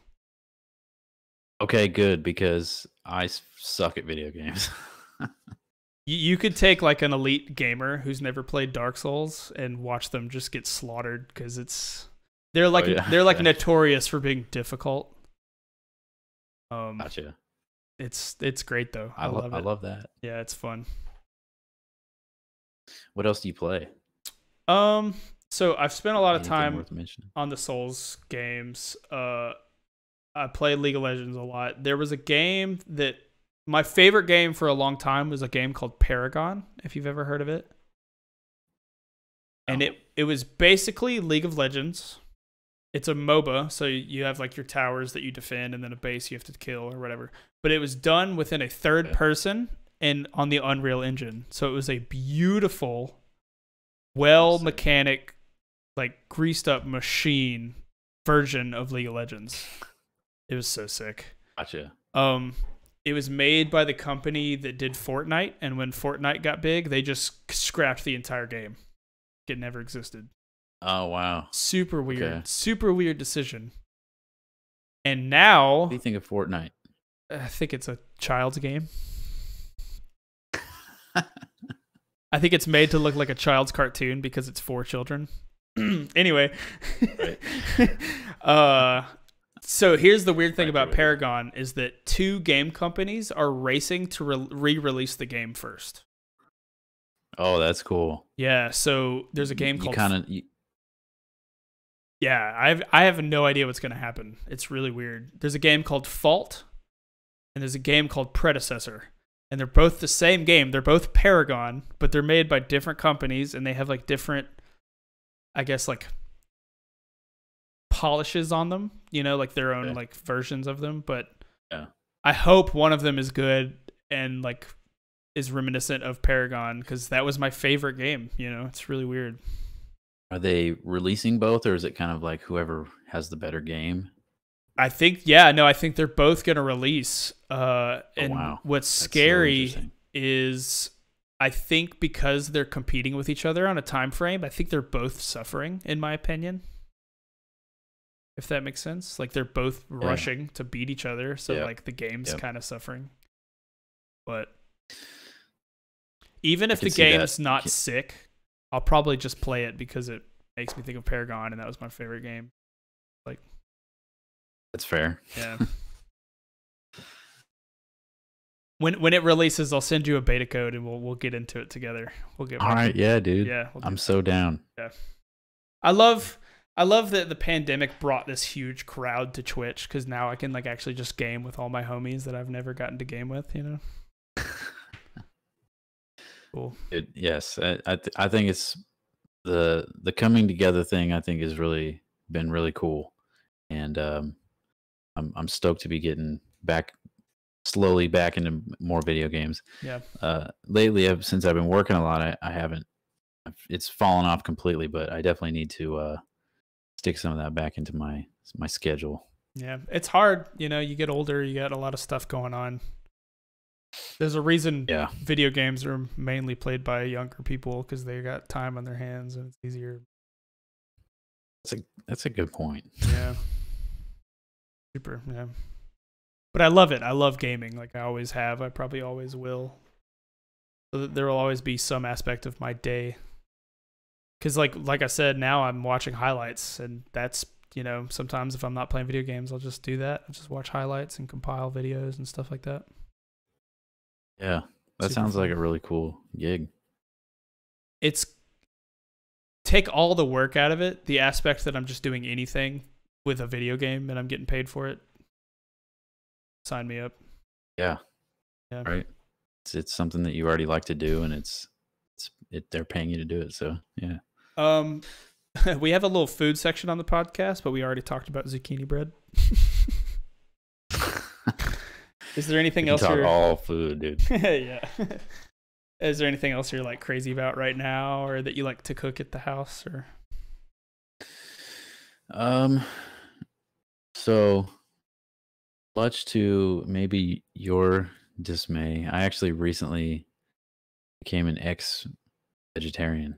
whoa Yeah, no longer no longer vegetarian. okay Um, and I, I, I mean, I'd still, you know, stick to a lot of the same stuff that I was eating, like, um, trying to eat, trying to eat the plants, you know, as, as much as possible. right Not, not that I do a great job at that, but, uh, um, my fiance is still vegetarian. I actually convinced her to do it years back.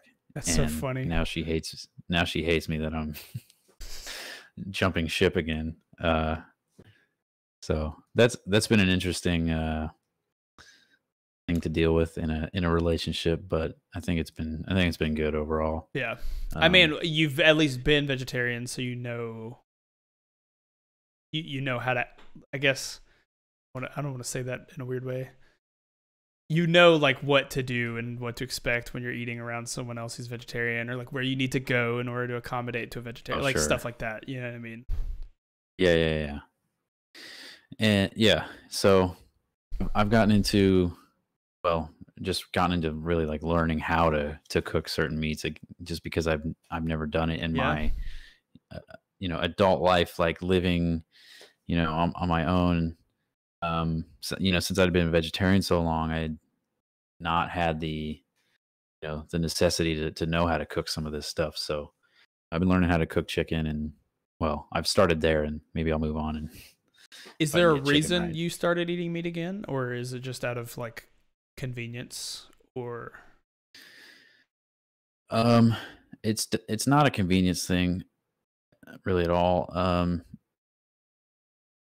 you know, I've I've always been interested in like the health aspect of diet, and really that was what drove me to be a vegetarian in the first place. Was everything that I was seeing at the around that time was like pointing me to, you know, stop eating meat, basically right? and I never really I guess I didn't settle on that. I I wanted to keep learning about uh health and diet and so sort of loosely I kept, you know, keeping up with with stuff over the years and I don't know, just things that I'd seen over time had, had kind of made me see that sorry, I, my computer's beeping at you. I don't know if you can even Oh no, I can't. No, you're you're solid. I can't hear. it. Okay. Um, just things that I'd seen over over the years had started pointing me in a direction that was showing me like at least the way that I was eating as a vegetarian was not Right. Yeah. um healthy in a way because Yeah. Being you, a vegetarian is it's, it's if you want to be a healthy vegetarian, there's actually like you need to ingest a lot more of like superfoods that a lot of places don't a don't offer, and b people just don't Right. eat them. Like people should be just like filling themselves with lentils and like like exactly like super grains and, And- like supplementing omega threes and all that stuff. But like people are like, I'll have a bean burrito, you know? yeah Yeah, I and get that's it. kind of the conclusion I came to yeah, was like yeah, yeah, if I'm going to be a vegetarian, I, I, at this point, I have to be doing it right. And, it, and Yeah. that entails like just eating so much food. And it's just like, maybe not so much food, but just eating a lot throughout the day. And, um, See, I love that. I, I do really, That was like one of my main things for going vegetarian is because I already did it, but I was eating a lot of meat throughout the day. Oh, it was terrible. Yeah. yeah, yeah. Yeah. And, and I, I do still believe, I'm, like, I'm not, I'm not one of these folks who's like jumped over completely to the meat side. I'm like, you know, not going to eat vegetables, but, um, I, I'd still believe there's a, a right way to, to be a vegetarian and, and be healthy. I just, I just wasn't doing it and it wasn't Yeah. working for me Yeah, with, yeah. with the, the, with the reality of my life, you know? So, Yes. And, there's a And, happy um, medium, you know? Like you've probably learned the importance of a plate with a small meat portion and a large vegetable portion. Yep. That's how it should be. Yeah. I, I fell victim to like the American diet, which was like a double cheeseburger, add bacon, then like a starch. Like it's just it's so it's not that's not what health is, and there's a reason America has like an insane obesity rate. Right. When did you actually go vegetarian? So when I was 18, I was pescatarian for like a year or two. I ate fish. Yeah. Uh, just because like that's an easy entryway, you know, eating fish. Because like fish actually does give you a lot of Yeah. the stuff that vegetarian diets lack.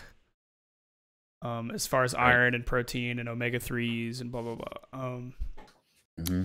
and then I actually started touring an Erra, and I was like, nope, can't do this. I have to eat meat because I'm living off two McDoubles a day. Like those were like, dude, that was back. We were getting three dollar per diems back then, so like, Yeah.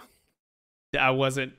That's the that's the early tour diet, man. Yeah, yeah, yeah. Yeah. We did the same shit and dude, I it's weird. I, I somehow even lost weight eating two McDoubles like almost daily. Well, I don't know if because it was just they're just fake calories or something. right, like- yes, That- honestly, you're right. It's like not nutritious, so we're like, but that's why we're also getting sick That- on tour. We have shitty immune systems, and it's just such an unhealthy Right. lifestyle when you can't accommodate for it.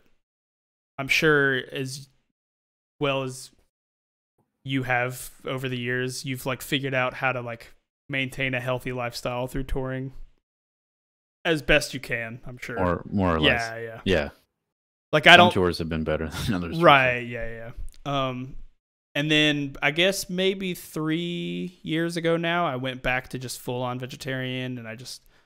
I probably went a little too hard. Like the environment's always a factor on me when I'm thinking about meat consumption and stuff like that.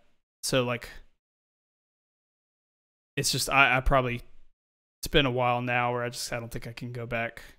But when I started being vegetarian, it was for diet. Um cuz I've I've Yep. always eaten a lot. I've always I can put down an insane Mhm. amount of food in one sitting. And if I put down an insane I know it's funny. If I put down an insane amount of greens compared to an insane amount of meat, it's just like obviously this side is better. Um, so that's like my first reasoning for going vegetarian. Yep. I think I could be totally wrong about this and have had something completely ass backwards in my thinking, but um it's it's from at least from what I've what I've gathered, it seems like carbs are kind of a, especially if you're eating carbs with other things. So if, if you're eating a lot of carbs and you're a meat eater, you're in extra trouble because the carbs are sort of like amplifying these effects that the meat is having on your body. Yeah. And in my, at least my uh, search of like trying to find diets that are low in carbs, it just made sense to to try and get some more meat incorporated into that. Well, and it's like there's the keto diet, right? And it's obviously Yeah. works and you can be super healthy on that. But if I was vegetarian and tried the keto diet, I'd probably pass away. There's like just no way. so like yeah, you just have to find what works for you. Um actually try I actually did vegetarian keto for couple weeks uh 2 years ago over the summer and um I I did it. It it worked for a while. I, you I don't you think went that that's into something that you can ketosis. I think yeah, Okay. I was doing a lot of fasting and um I was eating the eating the right stuff and I was doing a lot of running. And uh I was honestly I, 2 years ago in the summertime I was uh in the best shape of my whole life Around that time. stuff the Yeah? vegetarian Wow. keto yeah um but I definitely don't think that that is, I don't think keto in any uh any setup vegetarian or not is like necessarily sustainable for it's like Yeah. it's something you can do if you need to like lose weight or whatever but Yeah, dude. i don't think it's something that you can just live with forever you know? Yeah, I, I'm gonna have So- to 100% agree with you on. Yeah. Well, so what were you eating as vegetarian keto? so there was um An insane amount of avo- uh, avocado, avocado. I, I Oh, watched, yes. I Oh, watched too yes. much Vine.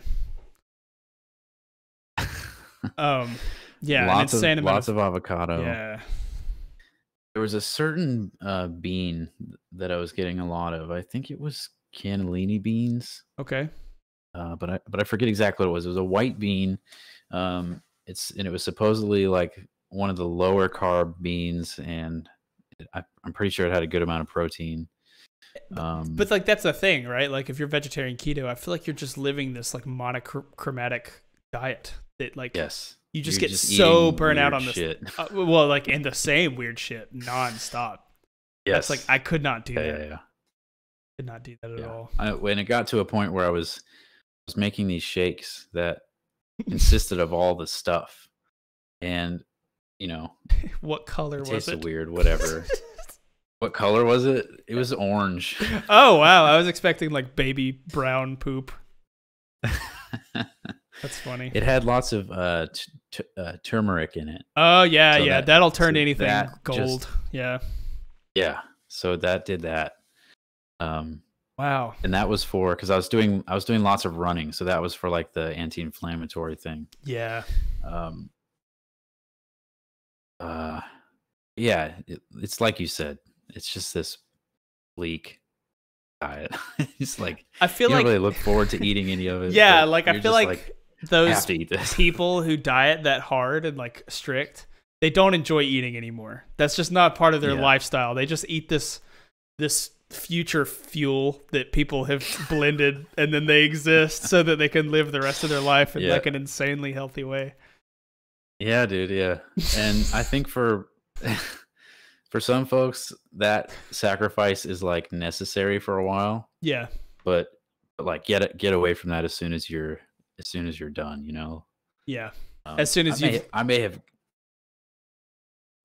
soon as you accomplish whatever goal that you're. I was gonna say as for. soon as you uh filmed Batman that year because you're an actor and you're like being forced by millions of dollars to get in some insane shape. Because those that's Exactly, those are the people who come to mind. It's like people are like astounded that like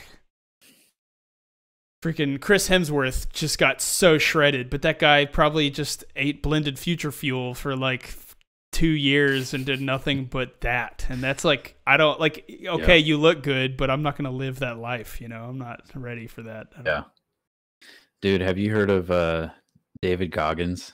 I haven't. So he's been on. I don't know if you watch Rogan much, but he's been on Rogan at least once. Um, he's got a book called. Uh, I'm forgetting the name of it, but it's it's his story of going through, uh, BUD/S Navy SEALs training. He went through it like three or four times, Ugh. like voluntarily. Yeah. Um, this this guy is just a he's a machine Yeah. and part of his story was that in order to to join BUD/S he had to pass this test and he barely passed but he also had to like lose 160 pounds in like no time at all i think it was like i don't know a handful of weeks or something it was like three months or something like that he had to lose 160 pounds and uh I I can't remember if he goes much into diet around how he did it through diet, but he goes through like what he was doing exercise wise. And this dude was just like this this shit would kill you. Yeah, yeah, it's insane. Like like The you have to get into shape before you get into his shape. Like that's like that kind of Right, stuff and is he was- insane to me. yeah, and he was doing this stuff as like a fat guy. Like it was, it was crazy. If are you a are you much of an audiobook guy? I'm not. I just Okay. yeah, I've feel like I've been sensory overload my life. Like I've never read I think I've read two books in my entire life and that's insane, but like I just Oh, yeah. never made the time for it. Um yeah.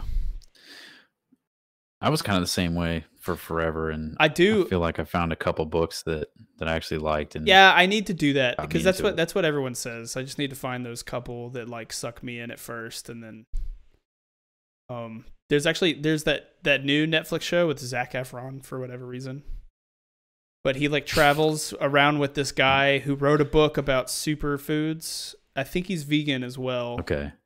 Um, so it's really that guy's show, but they're just using Zac Efron as like the face of the show. It's so funny, but it's like it's because they're like good friends. right. Yeah, it's a good show though. You should check it out. It's like it's like good mindless watching, like just have on the background, like while you're eating dinner or something. If you're one of those, uh, down to earth. I think so. Yeah. Yes, it is that show. Yeah. Um, shot. I want to read the book that guy wrote because after watching his show, he's he's a bit of like a guru kind of guy.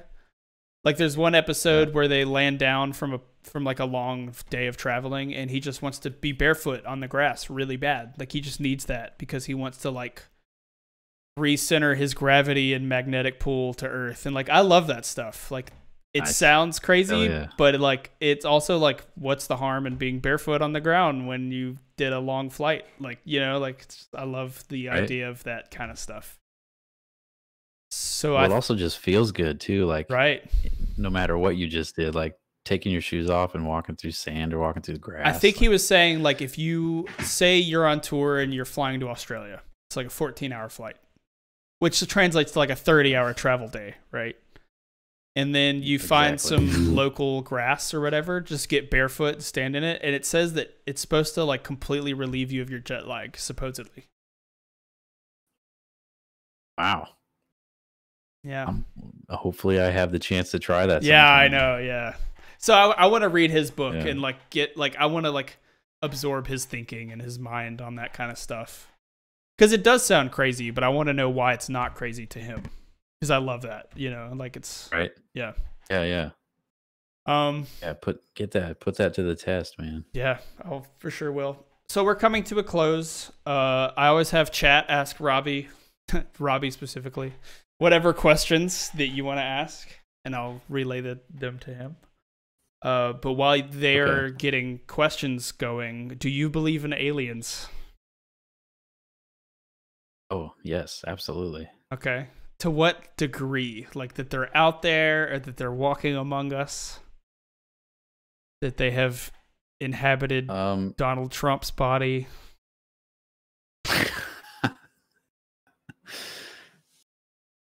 I dude. Okay, so I've I've totally seen like UFOs or something in the sky that I could not explain that I could tell you for certain was not like a candle floating on a a you know A selfie stick. it was definitely like yeah a, yeah floating selfie stick it was definitely okay so and this is a a quick little uh, tour thing that, that happened i was in utah just driving the band van years ago like five in the morning i'm just like caffeinated to my eyeballs everyone's yeah. asleep Yeah. and I'm I'm seeing all of these things just in the sky, just flying around at just what seemed like just absolutely insane speed, and they're zipping around in all these crazy like formations or whatever. And I'm like, I'm looking at UFOs right now. There's like, and everyone's asleep. I can't tell anyone. Right. Yeah. So that I've That never makes me at least- seen anything like that, but I've definitely Yeah. gone down the rabbit hole of like some of those videos that people have on YouTube are just like a little too convincing and weird. right, right, right. Um, the one yeah, I totally, I totally believe they're at the, they're at least out there. Who knows if they're among us? right. I mean, maybe Donald Trump is an alien. That would explain a lot of shit. And I don't, sorry to viewers, I don't mean to just literally call Donald Trump out. I mean like the whole reptilian race type vibe that they're all in power and Yeah, stuff. dude. Yeah, yeah. Um, someone asked, "Have you ever tried DMT?" They they said, "Oh, that." so when you brought up Joe Rogan, they were like, "Oh, that's why he's eating meat again. He probably has a freezer full of elk meat, and he does DMT." Um, I, I have actually not done DMT. okay. Um, but I'm pretty intrigued. Yeah, same. Stories that I've that I've heard from from people are, are like, I mean, I've been straight edge, and I've heard for horror stories too. Yeah, I haven't heard many horror stories. It's scary. Uh, I've been straight edge for almost ten That's right, years, but I edge. I will. I will have an ayahuasca experience at some point in my life. I've, I'm yeah, I've always wanted to do that too. yeah. I want to like go to like a shaman, you know, possibly in the Amazon. Yeah.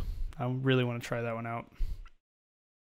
Um, yeah. Any any experience that it has something to to teach you about yourself that that you might not get otherwise, and, and I think it's it's totally worth it. Yeah. Yeah, I agree. And I think that's what those chemicals do. I think they just force you to come face to face with some stuff that you haven't dealt with, or or or who knows? Maybe maybe you just have a trip in La La Land and it's all good. yeah, true. Which is also a possibility. Yeah. and I've heard stories that that is kind of similar to what it's like. It's just it's everyone has their own unique experience, which is cool. that's right. Yeah. Uh, did you guys get hate from changing your quote unquote sound, going from super heavy to chill? I could probably answer that question for him. As any band releases any new music, you get hate. Yeah. Yeah. Oh yeah. Definitely some disgruntled fans. and um, and I can relate to that. You know, I've I've seen some of my favorite bands change. Um, some of them for the for for the good, and some of them not. So yeah. yeah, there's definitely a good amount of hate, uh, especially after Clairvoyant. That was such a shift. My favorite record you guys have ever done. Really? Yep. Damn, dude, that's that's cool. Well, and today is uh it's funny. Yeah, birthday. I saw that. Yeah, it's actually super wild. Uh, yeah, I love Clairvoyant. When you guys played it, I think it was actually that was my number one of Spotify that year. It Was Clairvoyant. Oh shit, that's awesome. It's an experience. It's super cool. And I'll also I'll probably say too, and that's just like how it is with bands' albums, right? Like I think albums have to speak to you in the time of your life. You know what I mean? If that makes sense. Like I think Clairvoyant came out at a very clairvoyant time of my life. Maybe is the best way to word that. I I hear that. Yeah. Yeah. I'm getting super out there today. I'm just being wild. Um Will we see signature pickups or even a guitar from a Robby signature time? Was a question. Signature pickups are definitely in the works. Okay. Um, nothing is uh completely set in stone yet, but Yep. um, it's definitely the the process is is in motion. Uh, signature guitar, um, that process is um not quite as close as the uh, the signature pickups, but Yeah. but we're we're we're working on it. Yeah, cool. That's We're awesome. we're spamming Mike Arrigo every once in a while. Just a lengthy email every month. Uh, I'm just like texting Please, him. Like, hey, dude, signature guitar. Come on. Come on. dude. I, I feel like it could come for you guys. I feel like that's coming. I think. I already said earlier that he loves That'd you guys. sick. Yeah. Uh, any tips or Yeah. warnings for a prog band starting out?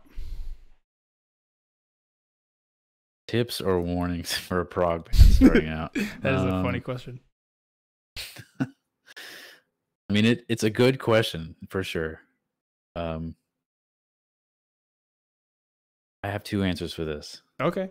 My first answer is stop now, turn around, yeah. Okay. We saw that one coming. Don't. All right, that's my that's my joke question or my joke response. Yes. But my serious response is um and this goes for really anybody in, in a band. It's just like, you know, being dudes in a band is, you know, it can be it could be rough. Um there's gonna be egos clashing.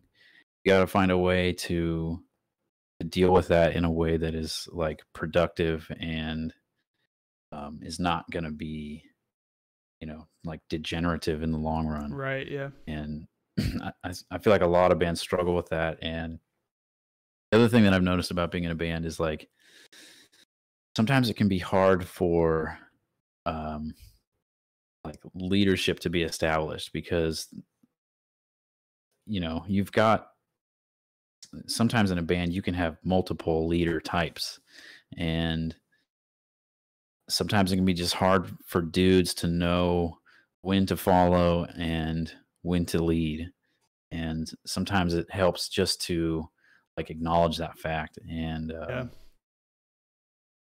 yeah so Yeah. Being in a band is is is to touch on that subject. It's like when you get five males, and, and I'm not gonna say it's specific to males, but like we're a very ego driven type, especially in our genre too. Like metal. When you think of a metal dude, you know. Um. he's a he's a hectic dude he's got shit to say It's like he's not gonna have any of your shit Yeah, dude. When you put five egos in a room and then like try to control like a, an idea or like a creative platform, it can be hard. But yeah and that that's a good point right there is like there's there's a whole magic to bringing an idea to a, a group of guys and then trying to cultivate some kind of collaborative effort and maybe that's not how your band operates maybe your band is just one guy doing most of the writing and everybody else just falls in line. But if if you are lucky enough to be surrounded by other creatives who are like willing to participate, and if if you're not like engaging those guys to like participate with you, it's it's not going to be good. So Right. Yeah. it's like you almost have to like figure out like what are what are your dudes like what are your dudes like like are, are they into collaborating in certain ways do you have to like finesse them in some Yeah, other like ways in, in order to Being to in a band is like trying to discover five people's love languages at the same time. You know. yes that's perfect that's, Yeah. that's exactly it yeah yeah. Another thing I just came up with. Man, I'm coining them today. you need to like write a book about It it would be a very a short band, book. dude. It'd be a monologue. chapter one put sell your equipment it would it would be like a, a short pamphlet, uh, just an epilogue, but just like, yeah yeah well, dude, I'm I'm gonna call it here. This has All actually right. been a long one. We we crushed it. we did man It's Yeah. been what two and a half hours Yeah, and I will be on your stream tomorrow. Hopefully, we have things left to discuss or exist about. And Oh yeah, we're we're gonna we'll have some questions for you. all right, Curveballs. Uh, I'm looking forward to it, man. I'm gonna um try to get some material, like I said before. Um, Yeah. I linked Sick, I linked the streams so that tomorrow we can hit it. Um, but. Robby, this has been awesome, dude. Absolutely. Thanks for having me on, man. Yeah, of course, brother. Um, yeah, I'll catch you later, dude. Tomorrow.